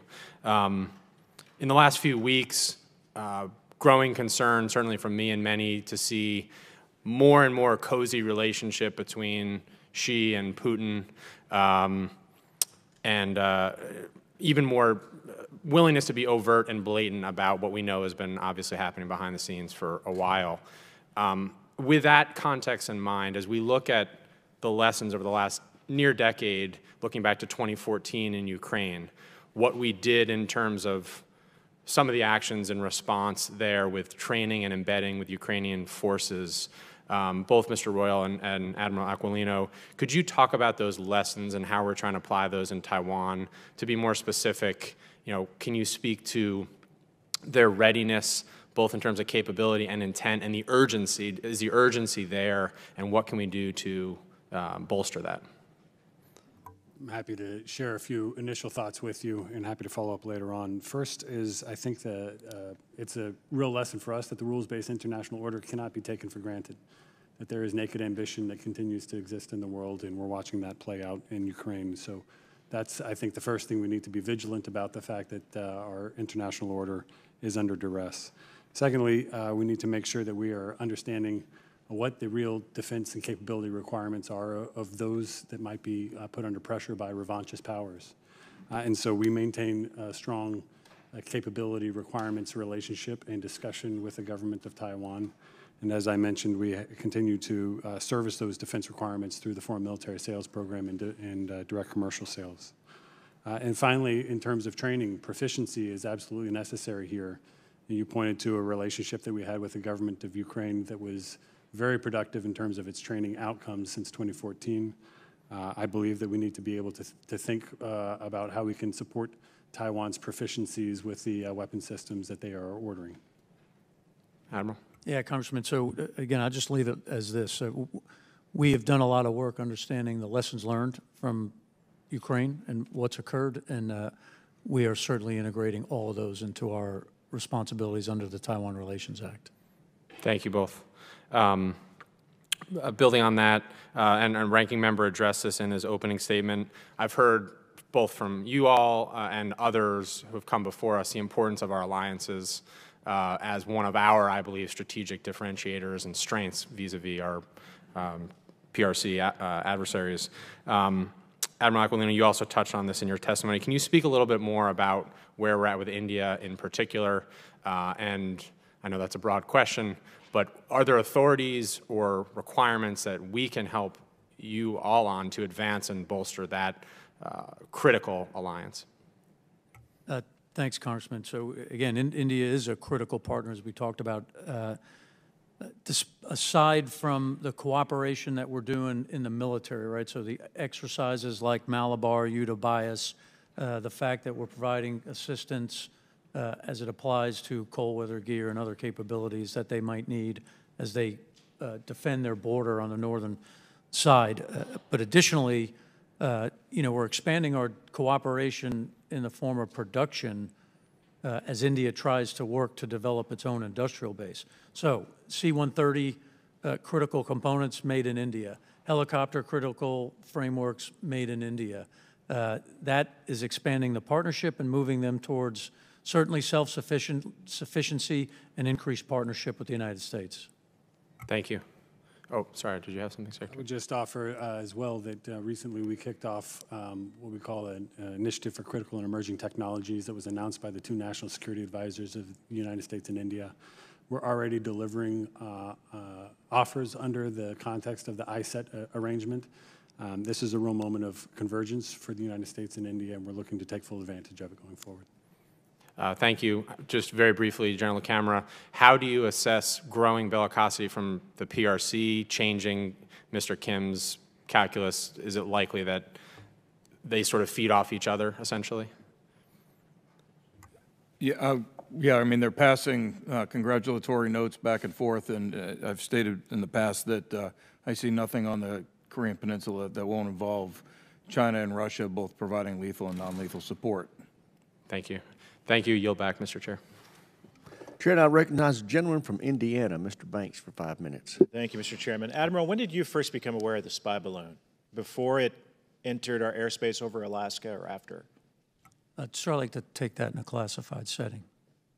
Um, a Washington Post story over the weekend said that there have been several Chinese balloons that have operated in the Indo-PACOM AOR over previous years. What, what are we doing about it? So as we posture in the Indo-PACOM AOR, sir, I'm responsible for defense of Guam, defense of Hawaii. We have aircraft on alert. Our systems and our architectures uh, are looking to uh, ensure we can identify those in a position and place where we could respond if required. So the, the story also notes that the spy balloons in, in your AOR uh, often fly over U.S. carrier strike groups and over the, the South China Sea. So are, are, we, are we concerned about this, or is this something that we too easily dismiss as the president seemed to, seemed to have done when the, when the balloon flew over the entire continental United States? So, sir, I'm responsible and always concerned about force protection uh, for our assets. So the network of sensors uh, that exist, uh, we understand where they're going and when and whether or not they're threatening. Uh, that said, if they fly over the South China Sea uh, in accordance with the rules-based international order, if that's international airspace, then they should be allowed to fly there. That's the way we would see it. That's what we do. That's what it means to adhere to the rules-based international order. Okay. Um, can you explain to the, the public, or at least members of the committee, why you want to, why it would, why you can't answer the question of when you became aware of the Chinese spy balloon? Before it entered our airspace in Alaska or after? Uh, certainly the means. For, for the record, why, why would that have to be, why would, why would that have to be divulged in a classified setting? Uh, certainly the way we identified it and how we knew where it was that and when it was uh, is something I'd rather keep uh, to ourselves. Okay. Um, at a, let's see, Admiral, um, at a March hearing, I questioned NORTHCOM Commander General Van Herk, um, who told me that President Biden, quote, uh, could ask under special authorities for the military to do more to prevent fentanyl trafficking at our southern border. Could President Biden use such special authorities to help INDOPACOM block the export of Chinese fentanyl analogs coming into the North America from your knowledge? Uh, I'd have to go back and see, sir, as, uh, as I understand it, those cap- or those uh, precursor chemicals are actually legal to be shipped. So uh, currently, I don't have any authorities to interdict or stop or prevent legal chemicals from being Mr. Royal, what, what would those authorities be that President Trump or President Biden could enact that he's not enacting, that President Trump did use? Congressman, I can't speak to the specific authorities that you're referencing right now. I will say that uh, we believe that the fentanyl uh, uh, problem that we're facing is a serious one and a, a serious threat to our society. The administration does have a strategic implementation plan uh, that is shared by members of the interagency, and DoD has provided enabling support to that strategic implementation plan, including through the provision of aircraft, radar, and uh, intelligence to support uh, arresting this threat as it continues to move forward to our country. So just to clear this up, those special authorities do exist? Sir, I'm not entirely sure which specific authorities you're referring to. Right now, we have the authority to be able to support our interagency partners, uh, and we have done that uh, under the rubric of the Strategic Implementation Plan. Admiral, can you talk about the Joint Interagency Task Force West that's used to uh, interdict the flow of fentanyl into the United States? Yes, Congressman. So that's my organization uh, assigned towards counter drug, counter transnational crime, uh, and uh, taking on that aspect of what the PRC might do. We track any of those shipments in accordance and in conjunction with Northcom, Southcom, and the interagency to provide an understanding of where that may be going so that if it does end up turning into uh, an illegal chemical, then it can be interdicted. So my organization is directly connected. We track those whenever we, uh, we can. Okay, thank you. I yield back. Thank the gentleman. Chair, and I recognize the gentlelady from Texas, Ms. Escobar, for five minutes. Thank you so much, Mr. Chairman and Ranking Member. Um, gentlemen, thank you so much for your testimony and your service. I represent, I have the privilege of representing Fort Bliss, Texas, uh, which is in Texas 16, El Paso. And my uh, questions are going to focus on the importance of resilient infrastructure, logistics, and mobilization capacity. Uh, we have to make sure that we are increasing our logistics capacity and force adaptability in the theater where China is uh, not only maintains the advantage of proximity but owns a vast arsenal of capabilities. Unlike that of the insurgent forces the U.S. spent the last 20 years fighting. Uh, Admiral Aquilino, my first question is for you, sir. I'd like to highlight the critical importance of multi-domain operational training in a contested environment, especially as it pertains to the Army. Can you talk about how Pacific Pathways and other initiatives are integrating this element to prepare our Army for a potential conflict in the theater? What challenges, if any, do you foresee affecting our ability to conduct joint training with partners and allies on a large scale while emulating a highly contested logistics environment? Uh, Thanks, Congresswoman. So from the Indo-Pacific position, right, this is going to take the whole joint force. And synchronizing and integrating that joint force uh, to be able to deliver effects is, uh, is a strength the United States has that no other ally and no other nation can do, to include the sustaining of that force across half the globe. So Pacific Partnership is, or Pacific Pathways is critical because it's a mechanism to maneuver the land component to places where either we can exercise or operate with our allies and partners or to preset the force in places that we need to operate. Uh, that same capability is needed across all of the service components. So it, it, what identified in my report was uh, a need for increased campaigning dollars that does exactly that. It allows for the transportation, sustainment, and support for forces forward uh, to deliver that deterrent effect. Thank you so much. Uh, Mr. Royal, any large scale operations or increased deployments in the AOR would require development of key infrastructure. However, the need for this infrastructure to be resilient to climate disasters cannot be overstated. What are the biggest challenges impacting your ability to take environmental factors into consideration in making assessments required for MILCON needs in the AOR?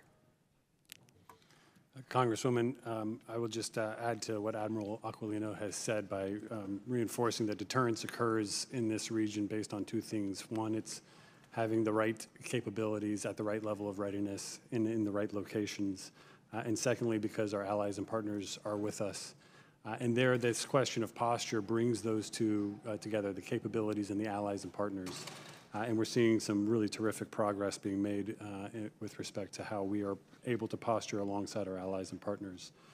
In terms of climate uh, concerns, we do have a, an ongoing dialogue with uh, partners throughout the region, allies throughout the region, on how climate change is affecting their ability to be able to uh, withstand um, and, and support U.S. military movement through the region. USARPAC has a terrific wargame series called uh, Unified Pacific Wargaming Series, uh, and they are testing out their ability to maneuver, maneuver through a contested environment in the region, including with respect to the potential effects of climate change uh, moving forward. So we have uh, addressed that in the National Defense Strategy, and we're addressing that in the budget submission as well. Thank you so much, Mr. Chairman. I yield back. Thank you, gentlelady. Chair now recognizes the gentlelady from Michigan, Ms. McClain, for five minutes.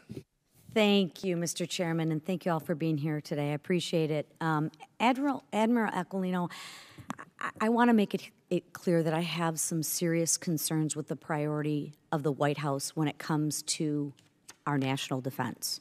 I also want to make sure uh, that we understand that I have some serious concerns on how our taxpayers' dollars are spent as it pertains to the military to make sure that we are ready and I think there are a lot of issues that we need to cover. I think prioritization of these issues are extremely important. Like you, I'm gravely concerned about the CCP and the PLA's aggressive modernization timeline. Um, while you while while you have almost 3.5 billion in unfunded priorities that you've deemed as vital to our defense against the PLA. 3.5 billion. The president's budget over the past several years have been has been focused on a woke garbage in my opinion agenda that has nothing to do to do with deterring the CCP. So let me just give you some numbers as, as I as I see them.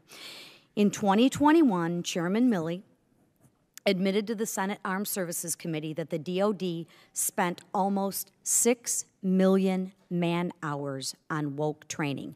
Six, it's right here, 6 million man hours on woke training. May of 22, the DoD spent $91,000 on diversity and inclusion for the Air Force Band. Okay. Last year, we found out that Kelisa Wing, of the former chief DEI officer at the Defense Department School, was pushing her book on white privilege in those schools. Okay? Last month, the Air Force launched an effort to hire a diversity, equity, and inclusion manager, manager, excuse me, and pay them upwards of $180,000 a year. I'm curious as to what their outcomes would be. Because when you hire a diversity, equity, and inclusion manager, I'm curious what their outcome is because if they achieve their outcome, they'd be put out of a job. But that's a different discussion for a different day. FY23, the president requested 86.5 million for dedicated diversity and inclusion activities. 86.5 million. Now remember you have 3.5 billion of unfunded priorities this year, the president wants 114 million more, right? These ridiculous instances of wokeness and, and sends an embarrassing message, I think, to our friends, but more importantly, to our allies on what we prioritize.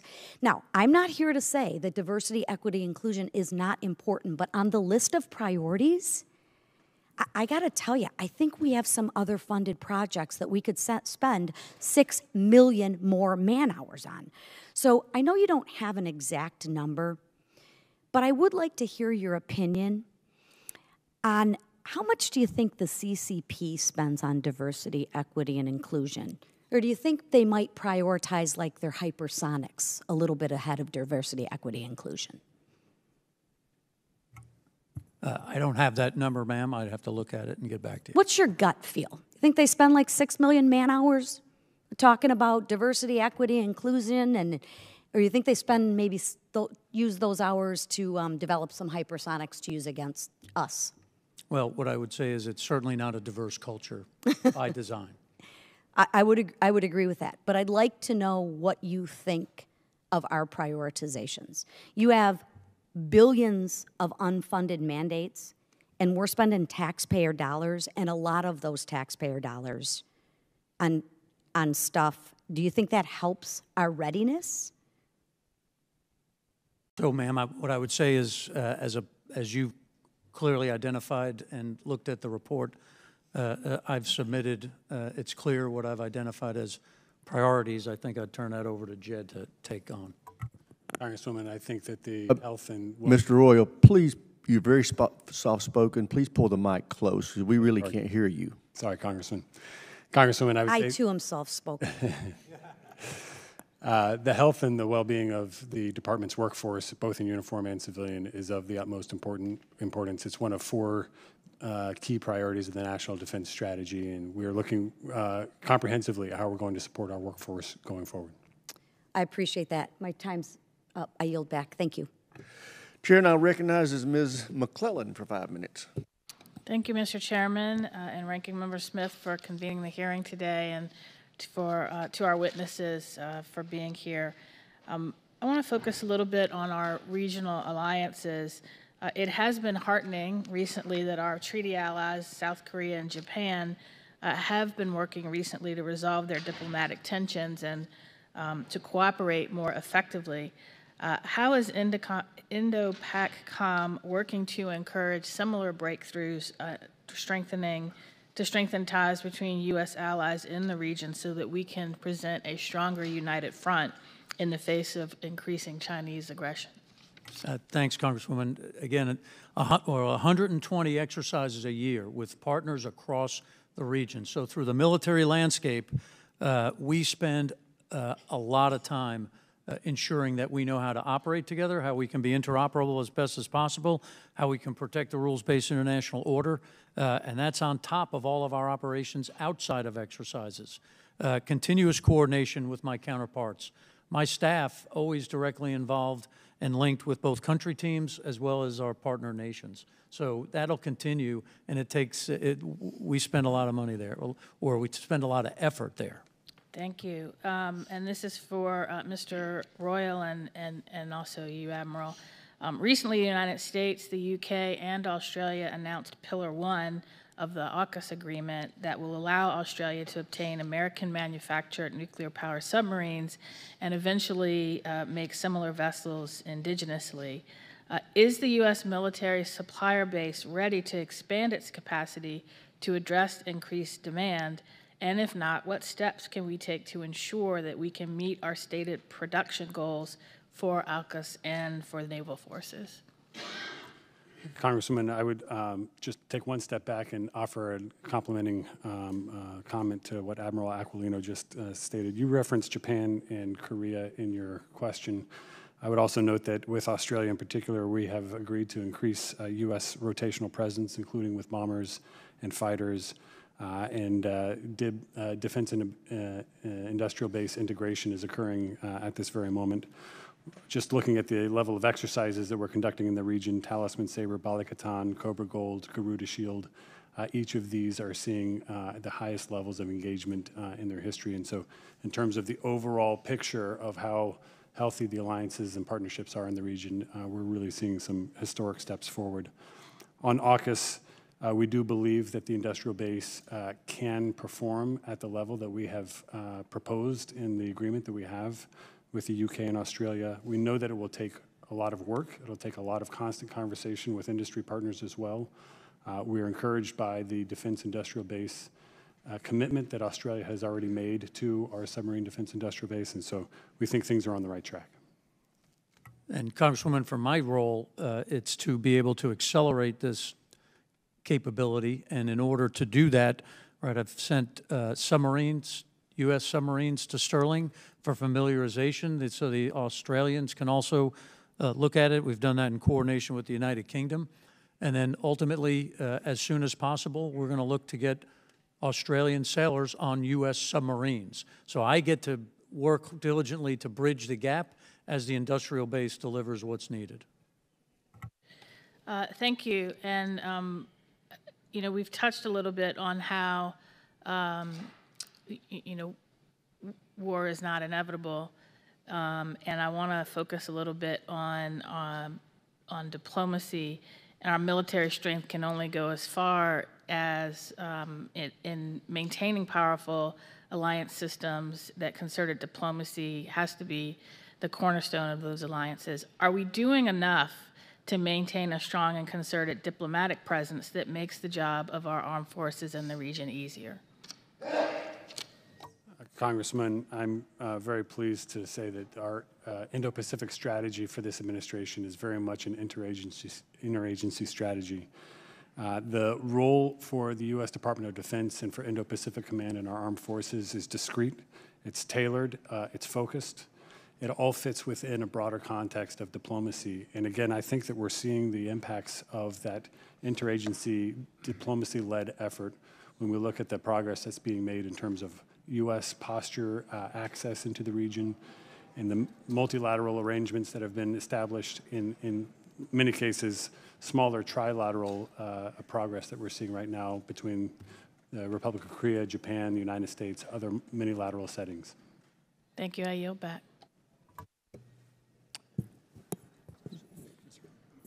A gentleman from Texas, Mr. Fallon, is recognized for five minutes. Uh, thank you, Mr. Chairman. I appreciate it very much, and thank you for uh, uh, thanks to all the witnesses for joining us.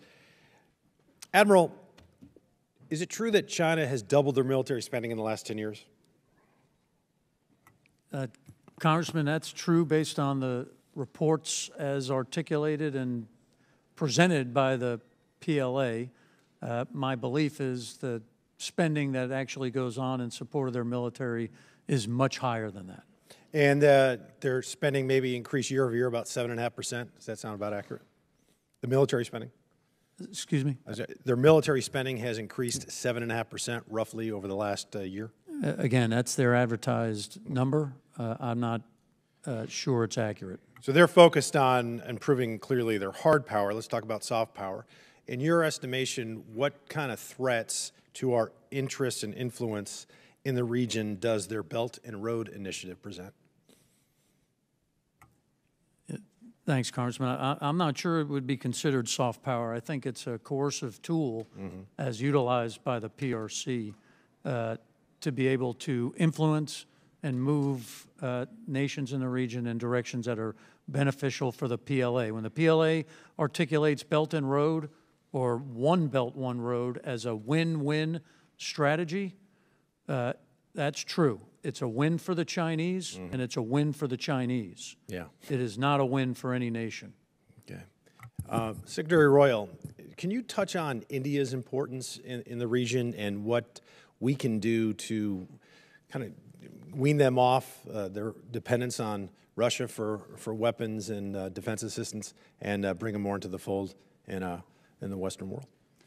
Uh, Congressman, as Admiral Aquilino already stated, um, India faces the same challenger um, that we face uh, in the region. And so what we're seeing right now is a moment of strategic convergence in our relationship with the government of India. Uh, there's a lot of momentum in that regard. With respect to your question on uh, from whom do they buy their weapons, uh, we believe that they are uh, through a generational process of looking to diversify off of traditional suppliers. We want to make sure that the U.S. defense industrial base is in the best position possible to be India's partner of choice moving forward. Uh, I noted the uh, initiative on critical and emerging. Mr. Royal, please pull the microphone closer. Thank you, sir. I, I noted earlier the initiative on critical and emerging technologies that has been announced by the two national security advisors uh, of the United States and India. And so it's in all of these areas where we're able to see the kind of progress uh, and the kind of promise for this relationship moving forward. Okay, thank you. And uh, I guess uh, for Mr. Royal, and if the uh, Admiral and the General want to weigh in on this, uh, how troubling did you find the comments of President Macron of France recently? Congressman, um, as I mentioned earlier, we're having um, a really in-depth conversation with uh, all of our European partners on the challenges that the PRC presents both in the Indo-Pacific region and globally. Uh, As we look at the NATO strategic um, uh, document that- that's been developed, it includes uh, the PRC in a way that it hasn't in the past. I would say the same thing for the latest European Union white paper. So we're taking uh, President Macron's comments within the context of all of those trends that we're watching. I would certainly point to other voices out there. Um, the foreign minister of Germany was recently uh, delivered a speech in which she talked uh, a little bit differently than President Macron, and we have uh, certainly uh, Foreign Minister Wong of Australia who uh, delivered a speech along those lines. I would point to as well as uh, I would say fairly consistent with a uh, understanding and approach the United States has to the PRC challenge. Admiral General, do you have any comments? No. No, The- sir. Go ahead, General. Sorry. No, sir. Okay. The thing that uh, it makes it rather obvious to and, and to me is the PRC would love nothing more than to separate us from the EU. And uh, if they do that, then that's a, a huge win for them. And I just want to make sure that uh, we nip something like that in the bud because it was very, uh, just really shocking uh, to, did, that he said what he said. I didn't really serve, I don't think, Europe's interest, France's interest, or certainly ours. So uh, thank you all again. Thank you, Mr. Chairman. I yield back. Chair now recognize the gentleman from Pennsylvania, Mr. Deluzio, for five minutes. Thank you, Mr. Chairman. Gentlemen, hello. I know it's a long day. Thanks for being with us. Uh, Admiral, I want to pick up on a question from Mr. Fallon here about uh, PRC spending, and in particular, advertised or otherwise, where is their investment in their shipbuilding relative to ours? Uh, I don't think I have the comparison, Congressman, but uh, they are certainly putting out ships at a pace that exceeds ours right now. And that's warships, sea lift, commercial, all of it? All the above. I ask because I'm one of the pieces I'm worried about is they are very aggressively making territorial claims, asserting the power uh, to regulate ships within what is international water that our fleet and otherwise patrols and protects, uh, to submit to Chinese command and supervision in those waters. Again, flagrantly violating international law and norms. Uh, and certainly in the, against the backdrop of raising their warships or building more warships relative to what we are doing our sea lift capacity, I worry. Uh, I think last month in this committee, the maritime administrator told us, talking about the sea lift fleet, the average age of some of those ships is 44 years old, some more than 50 years old. We're relying on foreign built ships uh, for our sea lift capacity. And so I guess my question, Admiral, would be whether you think our sea lift capacity is sufficient to meet our needs, Uh, And certainly, if you could weigh in on where our sea lift capacity is relative to PRC. Uh, As it applies to Sealift, we certainly uh, have a distinct advantage over the PRC, both numbers and capabilities. Uh, As it applies to what's needed in the future, so uh, uh, General Van Ovost, the Transcom commander, uh, and I speak often. She is aware of the needs required, uh, and she's done some good work. And I also thank the Congress for the support to the, uh, the additional 10 tankers that we've been able to utilize. So as a combined effort, uh, sea lift and airlift is critical, especially when you have to do logistics sustainment over half the globe. Uh, And again, in partner with Transcom Commander, we've identified that and, and asked the services to support it. Mr. Royal, anything you want to add to, or weigh in on that question? Uh, Thanks, Congressman. I would offer that DoD has a, quite a broad range of modeling and analytical capabilities that we undertake. Uh, We're looking um, at this theater as an all-domain uh, competitive space. Shipbuilding is certainly one of those domains, and we want to make sure that we remain competitive in that regard. Uh, But we're also making sure that we're thinking about the position and the presence of U.S. ships uh, with respect to all of the other domains that are uh, are necessary to bring to bear the right kind of posture at the right time. Gentlemen, thank you. Mr. Chairman, I yield back. And I, I want to pause for a minute. I was glad the way that uh, Mr. Deluzio framed that, and that is, what are they doing compared to us? Because I've said repeatedly, what they spend is, what they say they spend is a lie. But what they spend compared to what we spend is not apples to apples. They don't have an EPA. Uh, they don't have OSHA. They don't have NEPA. They don't have a Congress. They don't have any of the, the, the things that we have uh, to deal with and interfere with or drive cost up on uh, their expenditures. So uh, it's, it's always healthy to do what Mr. Deluzio did, talk in terms of what is our capability, what is their capability, not how much they spend versus how much we spend, because it really is a silly argument. Uh, Who? Mr. Moylan from Guam is recognized for five minutes. Thank you, Mr. Chairman. Uh, Thank you to the panel today. Uh, The time that you put in and the answers that you've been providing us, very helpful. I also want you to uh, know in the audience, we have um, also guests from Guam, our Guam Chamber of Commerce here. We have six of them that are very supportive of our continued military buildup on Guam, and Where are they? happy. Are they in the, cha- in the room? Yeah, can you kindly stand up, please? Welcome. Glad to have y'all here with us. Hope we didn't disappoint you. Thank you. And we continue to support our military buildup on Guam. Uh, Sir, you uh, made in your report uh, regarding the Guam cluster, identifying us as Guam as the most forward territory in the Pacific, right? Identifying over 170,000 American civilian citizens. You pointed out with Guam and CNMI that we no time in history has such a military buildup and construction been happening. And specifically, you mentioned that Guam is the third highest construction workforce per capita nationally. And the military construction demands require a workforce more than three times as large as what currently exists.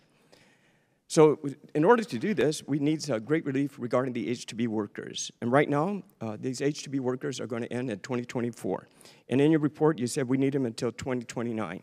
So, you know, I'm completely behind you. I trust you. I know what you're doing, and I, and I believe in what you can do. But I need to support you even greater. Congress needs to support you even greater. We've introduced the uh, standalone bill with the H-2B visas uh, to extend until 2029, and we're even uh, attempting to include that in the NDAA language.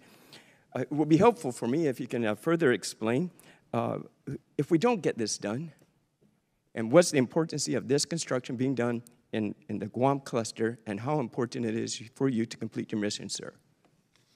Uh, Thanks, Congressman. Uh, So the development on Guam, uh, I think we've invested between 11 and 13 billion dollars to be able to execute the requirements that uh, we believe we need for both sustainment as well as offensive and, and uh, defensive warfighting capabilities. Uh, It is critical to be able to deliver those at speed and with the sense of urgency that I articulated.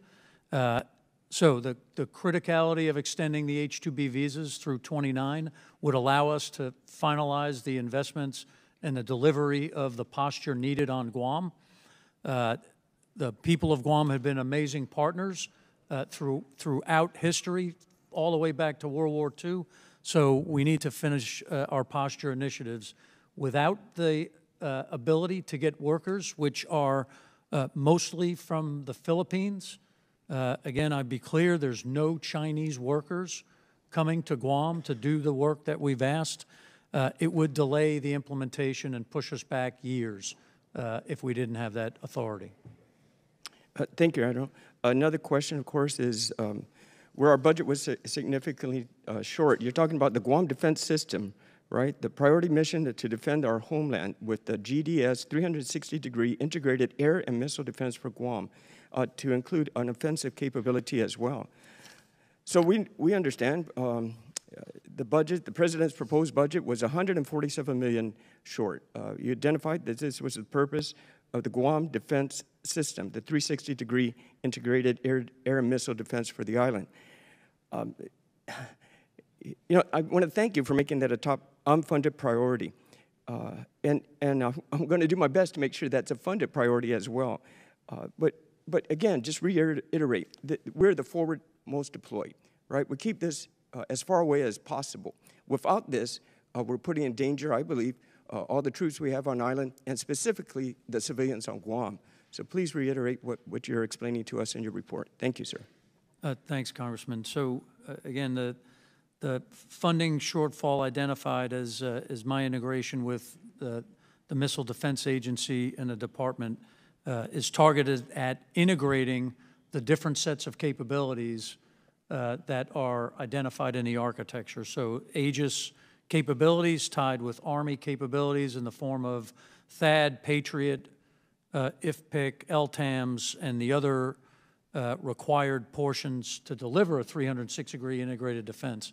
That 147 would delay the integration of some of those capabilities, uh, and that wouldn't be optimum for the delivery of the defense of Guam. Uh, thank you, Admiral. Uh, we'll fight strong to get your H-2B extended to 2029 and get you that 147 million in order for our nation and for our island of Guam. Thank you, sir. Thank you, Mr. Chairman. Thank the gentleman. Chair, and I recognize the gentleman from North Carolina, Mr. Davis, for five minutes. Thanks so much, Mr. Chair, and to the witnesses um, here today. While the focus of the United States security policy of late has been on the People's Republic of China, North Korea continues to engage in saber rattling tactics in the nuclear weapons domain.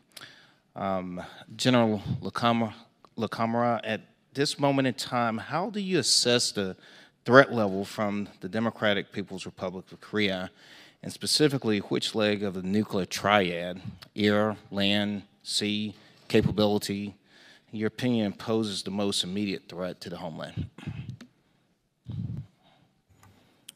Uh, to answer your last question, his land capability is the greatest threat. Um, what what he's, what he's demonstrated uh, with his ICBM testing. Um, Our focus is on, on combat readiness and uh, making sure that uh, we can, we have not deterred him in developing this capability. We now have, uh, need to focus on deterring him from employing this capability. As we saw tragically in Hong Kong, the people at the top of the institutions matter as much, if not more, than the institutions of government themselves. In responding to the PRC's brazen uh, violation of the one country, two systems regime that governed Hong Kong since its incorporation a generation ago, the U.S. offered little in the way of pushback. Uh, Mr. Royal, as we think about our military's posture in the South China Sea, especially as it re- relates to um, Taiwan, how can we be sure that history does not repeat itself? Congressman, I agree with your assessment that we're watching a PRC increasingly repressive at home and increasingly assertive abroad. In the South China Sea, the PRC uh, continues to make unlawful claims. And we call on the PRC to abide by the 2016 arbitration on uh, the claims in the South China Sea. Um, we believe that our mutual defense commitments with uh, allies and partners in the region represent a de demonstrable advancement in terms of being able to resist uh, those unlawful claims uh, as we watch them unfold. And so we're going to continue to sail, fly, and operate wherever international law allows. We talked about freedom of navigation operations earlier in this uh, hearing. Uh, we'll continue to share information transparently with allies and partners when we see violations uh, by the PRC uh, in an illicit way al along the lines of those unlawful claims. Okay. And um, Mr. Royal and um, to the Admiral, um, are you confident um, that the South Korean allies and other Quad region partners continue to have full trust in our intelligence and military capabilities, um, especially you know what we've seen over the last few weeks with the leak of um, sensitive classification, uh, classified information. Any assessment there? Uh, simply put, Congressman, yes, we believe that we continue to have uh, the full faith and confidence in the partnership in the alliance with the Republic of Korea. Uh, absolutely, Congressman.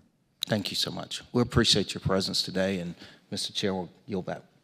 Thank the gentleman. Chair, and I recognize the gentleman from Missouri, Mr. Alford, for five minutes. Thank you, Mr. Chairman, uh, Ranking Member Smith, and our distinguished witnesses today. I appreciate y'all being here today. I'm, I think we're all concerned about uh, what's going on with China and Taiwan, maybe we're not moving fast enough to develop the capabilities to deter communist China. Our military has incredible capabilities, but as we modernize our forces, particularly our Air Force and Navy, we have to ensure that we're putting hard power in place to make China think twice before conducting a naval blockade or full-scale amphibious assault of Taiwan. We also need to do a better job of explaining to the American people why Taiwan matters and why the Indo-Pacific region is critical to our national security efforts. More than 50% of the world's GDP flows through this region, Taiwan alone produces more than 60% of the world's semiconductors, more than 90% of the most advanced ones. We cannot allow China to seize control of these critical supply chains, which would impact goods that we use each and every day. This leads to our questions today. Mr. Uh, uh, Admiral Aquilino, uh, after China's recent military drills around Taiwan, China's military declared it's ready to fight. Can you talk more about what INDOPACOM is doing to deter the Chinese Communist Party from launching military drills and threatening our allies in the region? Uh, thanks, Congressman. So, uh, Indo-Pacific Command is postured with forces uh, west of the international dateline that are prepared to respond, executing uh, daily operations for deterrence, operating with our allies and partners, uh, and uh, we're able to respond quickly to any aggressive action. Do we have the sea power that we need to combat China at this point? We do at this point. As we've talked about before, China is moving at a very rapid pace. They're increasing both capability and capacity, and we certainly have to make sure that we always have overmatch against the Chinese. What do you see as the biggest challenge right now, then, for us? Uh, right now, I think it's the speed of urgency at which we're working as we've come out of 20 years in the Middle East and understanding uh, what this security challenger is posing as a threat. Uh, we need to understand how fast it's coming and we need to go faster. What are the uh, top priorities for munitions and can uh, the American sector meet these demands that we're going to be facing? Uh, for Indo-PACOM, as a part of my 1254 report, I've articulated the numbers and types of weapons uh, that we believe we need to invest in and to deliver uh, quickly. Uh, as it applies to the industrial base, I'll ask Jed to take that. Congressman, on your last point, um, there were 17 munition systems identified uh, for uh, multi-year procurement in the latest NDAA. Those are the 17 systems that I would say are most critical right now in terms of our ability to stockpile, to have magazine depth in, in the Indo-Pacific region. I've heard, uh, we have heard uh, you three talk about the importance of our allies and the, and the critical role that they will play in helping us counter China. Can you talk about some of the capabilities that we need to improve on with our allies, such as cyber, and where there might be gaps in that? General, let's start with you, please.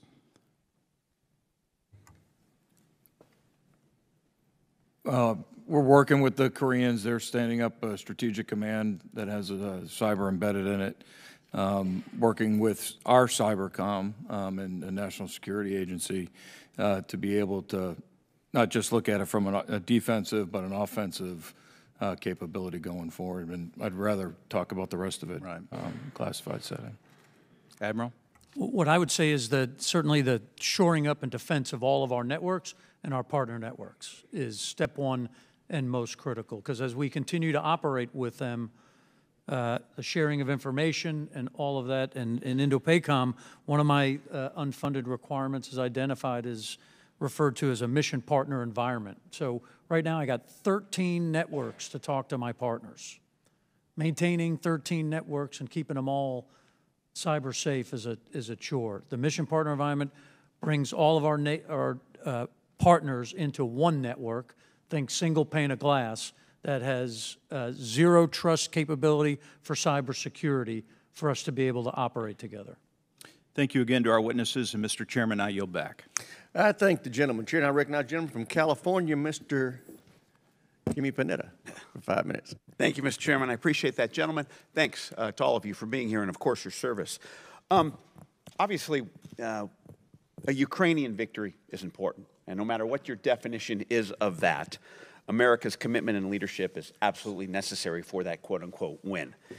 In order for there to be peace in the Indo Pacific region, obviously, when it comes to Korea, when it comes to Taiwan, America's commitment is essential as a deterrent and if as an ally if that deterrence fails, as you said, Admiral. Now, what we've seen, though, is obviously built up on both sides.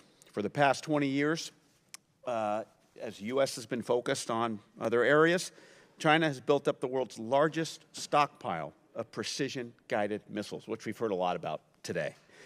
And obviously, you're seeing the United States eh, have to counter with its own stockpiles and its own long range of precision, guided missiles. In fact, I guess certain war games have uh, determined that the U.S. will run out, run out in less than a week if there is a military engagement.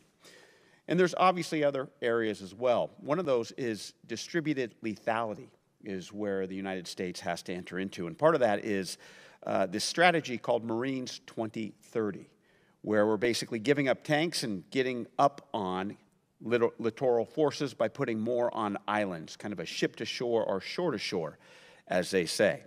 Uh, Admiral, if you could expound on Marines 2030 and then also go into the fact that as we work to deter China and a China attack, how do we not provoke one?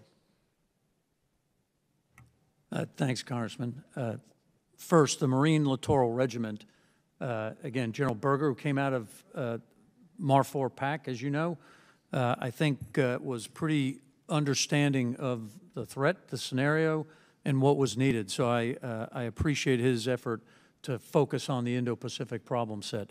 Uh, that said, we need to deliver that organization with the capabilities to deliver effects, surface to air, uh, air to, or surface to surface, surface to ship. Uh, when that force is armed and, and prepared in that uh, set of capability, it's exactly what we need in the Indo-Pacific to support the fight.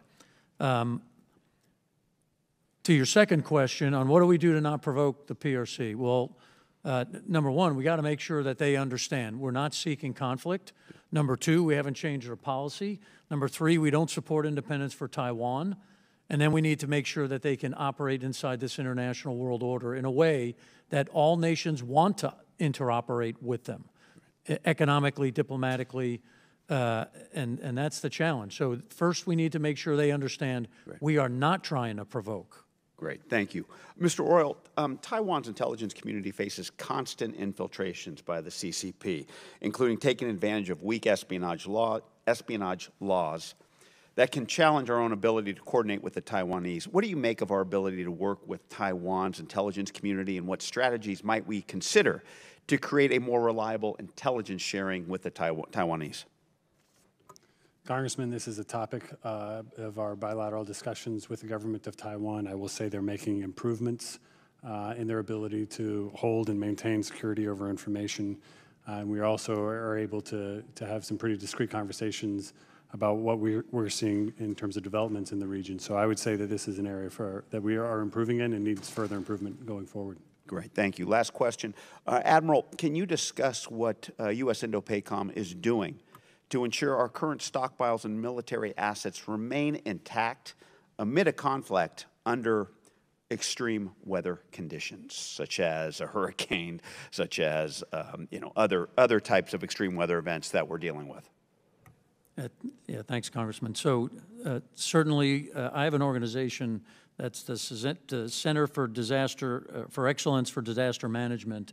Uh, They are doing a lot of work for me to make sure I understand where those places are that we need that might be at risk based on impacts, whether it be drought, sea level rise, sever- severity of storms. Uh, And we ensure that those are structured correctly, uh, and positioned to be able to sustain and survive any uh, harsh impact. Uh, But the ability to predict and then the ability to take action in advance of the problem is the approach we've taken. Right. Thank you, gentlemen. Thank you, Mr. Chairman. I yield back. I thank the gentleman from California. Chair now recognize the gentleman from New York, Mr. LaLota, for five minutes. Thank you, Chairman. Uh, Admiral, General, um, Mr. Royal, I want to start by thanking you for your service and for being here with our committee today. Uh, Admiral, I have to say um, I'm a bit excited to speak with you on the record today. Uh, it's not every day I get to dialogue with a combatant commander who's not only from Long Island, but from my congressional district. And in fact, I understand, uh, as you told me earlier, that you lived five houses away from St. Anthony's High School, where my wife and I both attended. So uh, awesome that you're here, Admiral. Um, I was a few classes after you uh, at Annapolis, and after commissioning, I was deployed to the Western Pacific three times uh, and spent 11 months in 2005 uh, attached to a jo- Joint Special Operations Task Force in the southern Philippines. And with that experience, I have uh, great respect and appreciation for the role the Indo Pacific Command plays uh, to our national security and our nation's most dangerous adversaries. China, Russia, and North Korea have a significant presence in your area of operations, and I'm honored to have you and your staff uh, here today to discuss uh, and work with our committee uh, to address national security challenges in the Indo-Pacific region. And a significant ally in the region is the Republic of the Philippines. And the United States and the Philippines have a, maintain a deep multi-generation relationship that includes uh, bilateral security alliance, uh, extensive military cooperation, a close pe- people-to-people ties, and many shared strategic and economic interests. And as you are all aware, uh, the Philippines, China, and other countries have long-standing disputes over waters and land features in the South China Sea. And as a result, tensions have risen sharply over the last decade as China has enlarged and placed military assets on several disputed features in the South China Sea. Just recently, our DoD has announced the location of four new naval bases in the Philippines, to include three on the northeastern part of the island chain. And I applaud those efforts to keep um, in check the growing threats of China, and I'm optimistic about our efforts to achieve deterrence through strength in the region. And it's crucial that we continue to position ourselves and have regional readiness um, in the region.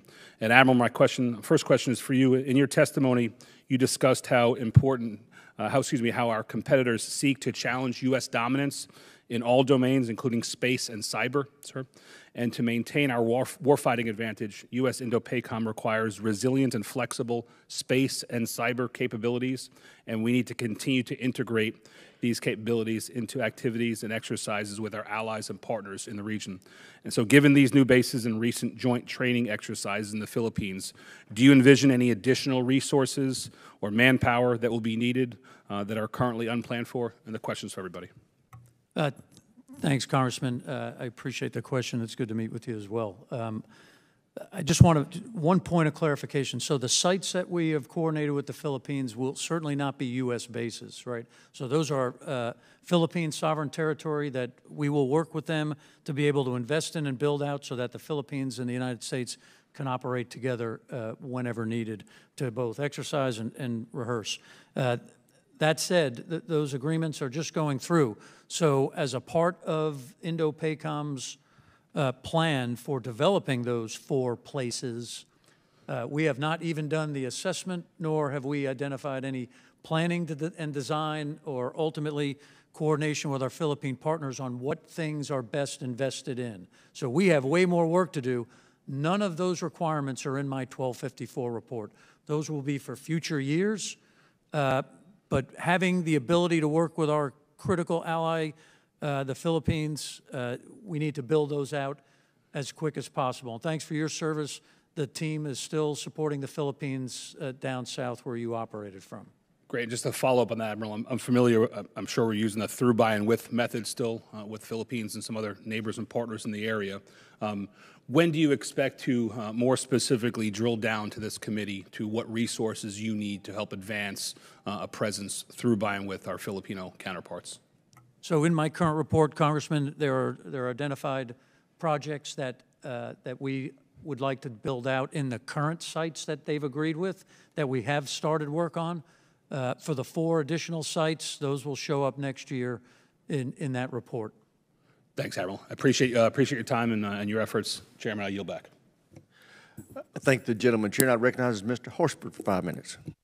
Thank you very much, Chairman Rogers and Ranking Member Smith, uh, for holding this uh, important hearing. As the 2022 U.S. National Security Strategy stated, the Indo-Pacific is the epicenter of the 21st century uh, geopolitics. The Indo-Pacific theater encompasses over 35 countries, 15 time zones, and is home to over half of the world's population. It is evident to me that success in the region will be a result of multilateral approaches. Secretary Austin has stated that we must use every tool at the Department of Defense's disposal in close collaboration with our counterparts across the U.S. government and with allies and partners to ensure that potential foes understand the folly of aggression. The work that we do with our allies and partners plays a crucial part of our ability to deter conflict. Um, as you know, my district includes Nellis Air Force Base, who aligned with the National Defense Strategy have focused their red flag exercises on the Indo-Pacific theater and the pacing challenges alongside our allied partners. So um, how are we collaborating with our allies and our partners to build an advantage and deter any challenges that we may face in the region? And how are you working with our counterparts in the U.S. government to address issues in the Indo-Pacific? And what can Congress do to further assist in those efforts? Congressman, I'll jump in first here on this one. um, as you alluded to in your comments, deterrence holds in this region for two reasons. One is because we have the right capabilities postured at the right level of readiness. And secondly, because our allies and partners are standing with us. And in that regard, I would say that we're doing more than ever with respect to advancing our relationships with our allies and partners. Uh, in Japan, we've, uh, we're watching their, uh, the Japanese Diet increase the defense budget uh, by over 25% just uh, in the next year. Uh, they've supported a counter-strike capability, and they are now uh, offering to host a U.S. Mar Marine Littoral Regiment in Japan for the very first time. Uh, the AUKUS uh, arrangement is a historic opportunity for us to be able to put increasing capability uh, in the undersea domain and to increase interoperability with two of our most capable allies. Uh, this is the sort of story that we're seeing repeated throughout the region right now among all of our defense treaty allies, but beyond that as well with all, all of our partners. And so when we're talking uh, about having the right capabilities and watching defense budgets support that, uh, in, um, postured in the way that actually does uh, create the right kind of deterrent effect to our adversaries, all of that is underway right now, and we're breathing oxygen into that work every single day. Yeah, Congressman, uh, as it applies from the training lens, right? So we do a uh, like I said, 120 exercises, operations. The training aspect of our allies and partners is critical. Some of them come to your state and go to the gold standard, right, of Nellis for the Air Force, Fallon for the Navy. And the intent that we're trying to push in the approach is to take that level of training and connect it from Nellis to Australia to Alaska to Guam to Japan. And if you were to think about a training range that spanned that size and scope, and allies and partners from anywhere in the region could jump in and get high-end training like you're used to and the Air Force is used to at Nellis, that's a pretty good uh, path forward. That's our approach. Thank you for the recognition of the great work uh, that our service members are doing at Nellis and beyond. Uh, finally, um, we know in states like Nevada, uh, many of our constituents are feeling the effects of the climate crisis every day, and the Indo-Pacific theater also experiences some of the world's most damaging events. Often they are fast occurring and unpredictable. So, what are some of the actions that are being taken uh, towards uh, work around climate resiliency? Congressman, the first uh, thing that we're doing right now is spending a lot of time with our allies and partners in the region talking about what they're seeing in terms of impacts of climate change, in particular for defense and security requirements, where our department is most focused. Uh, and to that regard, we are looking at uh, ways to mitigate those impacts, whether it's related to infrastructure or energy security. And I do think over time, uh, investments that we need to be making into green technologies that support uh, our defense requirements and those of our allies and partners will be absolutely critical in the coming years. Thank you. Congressman, I've provided, uh, my organization has done a 30-year prediction on what each of those nations might be uh, seeing coming their way. And they can use that for understanding preparedness. And as we work projects and other things, uh, we make sure we're supporting anything through the concerns of climate impacts.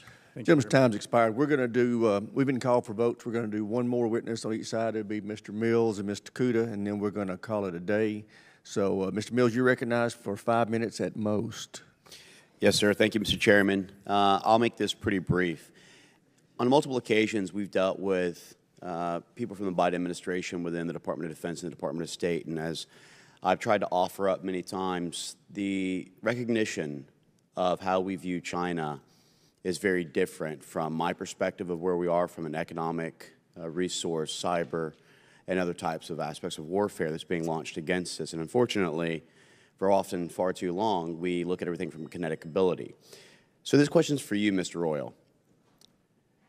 When we're doing all this preparedness to try and identify how we can thwart the efforts of warfare from China's aggression, do we recognize them as anything greater than just a competitor, but as an actual adversary? Uh, Congressman, uh, the uh, term that we use in the National Defense Strategy is the pacing challenge for the department. Do we recognize them as anything other than a competitor? Uh, Congressman, we can all get into different definitions of what is competitor, what is challenger, what is adversary. Pacing challenge is a term that uh, we believe sets our sights uh, on a trajectory that allows us to do what we need to do to be able to make sure that we are defending and deterring every single day. Okay, well, why don't we frame it this way? How does the CCP view America? Uh, I'd be happy to talk with you in a classified session about our assessments of the CCP. Well, it's pretty simple. I think that when they're actually trying to go act for us from an economic and resource perspective, they're trying to eliminate the U.S. dollar from being a global currency to ensure they throw us in hyperinflation.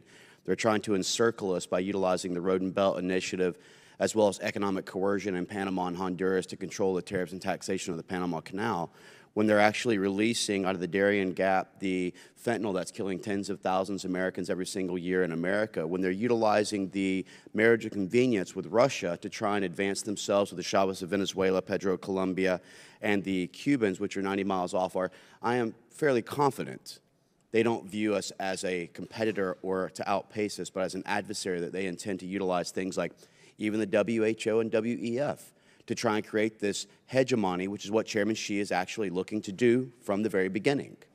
In saying all that, let's talk about economic resource cap uh, capability and capacity. Admiral, you've been very forthright with us, even in our closed door session, on where we need to be at. In the event of a CCP invasion of Taiwan, what role would the Indian Ocean play in shipping critical supplies and resources to our partners and allies? And could the Indian Ocean supply chains constrain the PRC aggression? Uh, thanks, Congressman. So, uh, again, no matter what would happen in the world, a free flow of product commerce uh, uh to our allies and partners, and from the United States, right? It's, all, it's not only the allies and partners and friends in the region, but it's the EU, it's the UK. Uh, we would come together to ensure that free flow of commerce could happen for all those nations, and it's also a vulnerability for the other side. And that's exactly what I was getting to, which is that in identifying and trying to prevent, yes, we can continue to try and be a porcupine so that China looks at it and says it is not a viable option right now. But also, I think exposing their vulnerabilities to track them away from the invasion to allow them to try and strengthen up their vulnerabilities, which could buy us the precious time that we need to get our industrial base where it has to be to support a war of this magnitude. And so have we looked at how we strengthen the quadrilateral agreements or the quad as it's referred to with India to ensure that we have that capability to try and expose these vulnerabilities? We're certainly working uh, with our Indian partners uh, both to advance our warfighting capabilities together, uh, to ensure that we're sharing information that's needed. Again, we do have the same strategic competitor or whatever definition we want to put on it. And in my time over the in the theater now for five years straight, it has increased exponentially. And again, it's trending in the right direction. Uh, they're, they're really good partners. I agree. And I think that our strengthening, as we saw under the Trump administration with Modi, it's to their economic advantage to weaken China's aggression from an economic coercive stance, but also it's to our advantage to find reliable resource and economic partners that we can conduct not only just trade, security cooperations in the area to ensure that we have stability and operations that are sustainable for decades to come. Thank you so much, gentlemen. With that, I yield back. Thank the gentleman. Chair, I recognize the gentleman from gentle lady from Hawaii, Ms. Tokuda, so for five minutes. Thank you, Mr. Chair. For decades, our country has enjoyed a close relationship with the freely associated states under the Compact of Free Association, especially in my home state of Hawaii, where thousands of FAS citizens live and work, contributing to our diverse communities. Ambassador Joseph Yun, alongside the Department of State and the Department of Interior, has been leading the efforts to renegotiate these compacts and send them to Congress for approval before they expire. But to me, the Department of Defense, especially U.S. Indo-PACOM, remains the primary beneficiary of these compacts. Admiral Aquilino, I think we both agree on the strategic importance of these compacts. Briefly, how important is it for Congress to act quickly to renew these agreements when they are sent to Congress for review and approval? Uh, aloha, Congresswoman. Thank you. It is critically important. Uh, Ambassador Yun and I have spent time together. I've offered my support wherever and whenever needed. Uh, I've hosted him in the headquarters. Uh, again, it's when we say it's beneficial, it's beneficial to the United States. Uh, the largest number of military service per capita comes out of the freely associated states. Uh, we defend them as if they were the U.S. homeland and uh, it's critical that we get these agreements across the goal line. Thank you. I also want to add that the PRC is working aggressively, as you know, to undermine our relationships with our FAS allies. Last month, President David Panuelo of the Federated States of Micronesia wrote a shocking letter detailing the extensive influence campaigns and political warfare that the PRC is conducting in his country. His letter is a bold move to assert that FSM's sovereignty through transparency, and I hope this committee will join me in applauding his courage and his service to, our, to his country. Now, INDOPACOM's independent assessment for fiscal year 2024 included several military contract um, construction projects for harbor and port infrastructure in the Federated States of Micronesia and the Republic of Palau. These projects are possible in part because of the compacts and the access they provide. Admiral, what is the importance of these types of projects in the freely associated states? What value are these projects delivering for our FAS allies? And Congresswoman, for the United States have, uh, we talked a little bit before about access basing and overflight. Uh, you know, those places are critical. Uh, they're much needed. Uh, to have them in, in the freely associated states provides a level of defense that's beneficial. And I would once say one thing about the President Panuelo letter. Uh, I'd sat with him just a couple of weeks ago.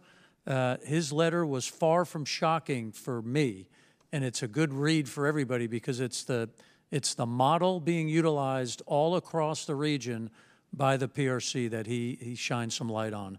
Uh, it was well done. Thank you, Admiral. With the remaining time I have, I'd like to expound on our military presence in Okinawa. As a fourth generation Okinawan American and Hawaii resident, I feel more acutely than most the impacts of our presence there and the similarities that exist between my homeland and my home. Like Hawaii, Okinawa is strategically important to our defense posture in the Indo-Pacific, and it too is home to a significant U.S. military presence, with all the benefits and the challenges that come with it. The planned relocation of Marine Corps Air Station Futenma to Henoko Bay has been delayed into the next decade. Significant environmental and ecological challenges to this plan, in addition to local political opposition, beg the question of when this relocation will ever be completed, and if so, at what cost. In the past seven years, it has been revealed that there is PFAS contamination of waterways, soil, and drinking water around the Kadena and Futenma bases. Blood tests conducted by Kyoto University in 2019 found elevated PFAS concentration in residents' blood, strongly suggesting potential exposure to not just Okinawan residents, but our own U.S. service members to PFAS compounds. There is no denying Okinawa's strategic importance to our posture in the Indo-Pacific. My two island homes are destined to play a role in the story of this era, and I am very proud of that. I only ask that our witnesses here today consider a whole of government approach as we define and strengthen our relationship with both Okinawa and Hawaii. More than just a location for our fleets and our bases, these islands and her people are our allies that should be included in future decision making as we work to secure and defend the region. Mahalo for your time, and I yield back. Thank you, Mr. Thank you. Chair. Uh, What I would like to do, since nobody else has scooted in, is Ms. Luttrell, okay. I was going to give him time, uh, but listen, I want to thank y'all. I want to thank y'all for your patience and your service and being here today. And with that, we are adjourned.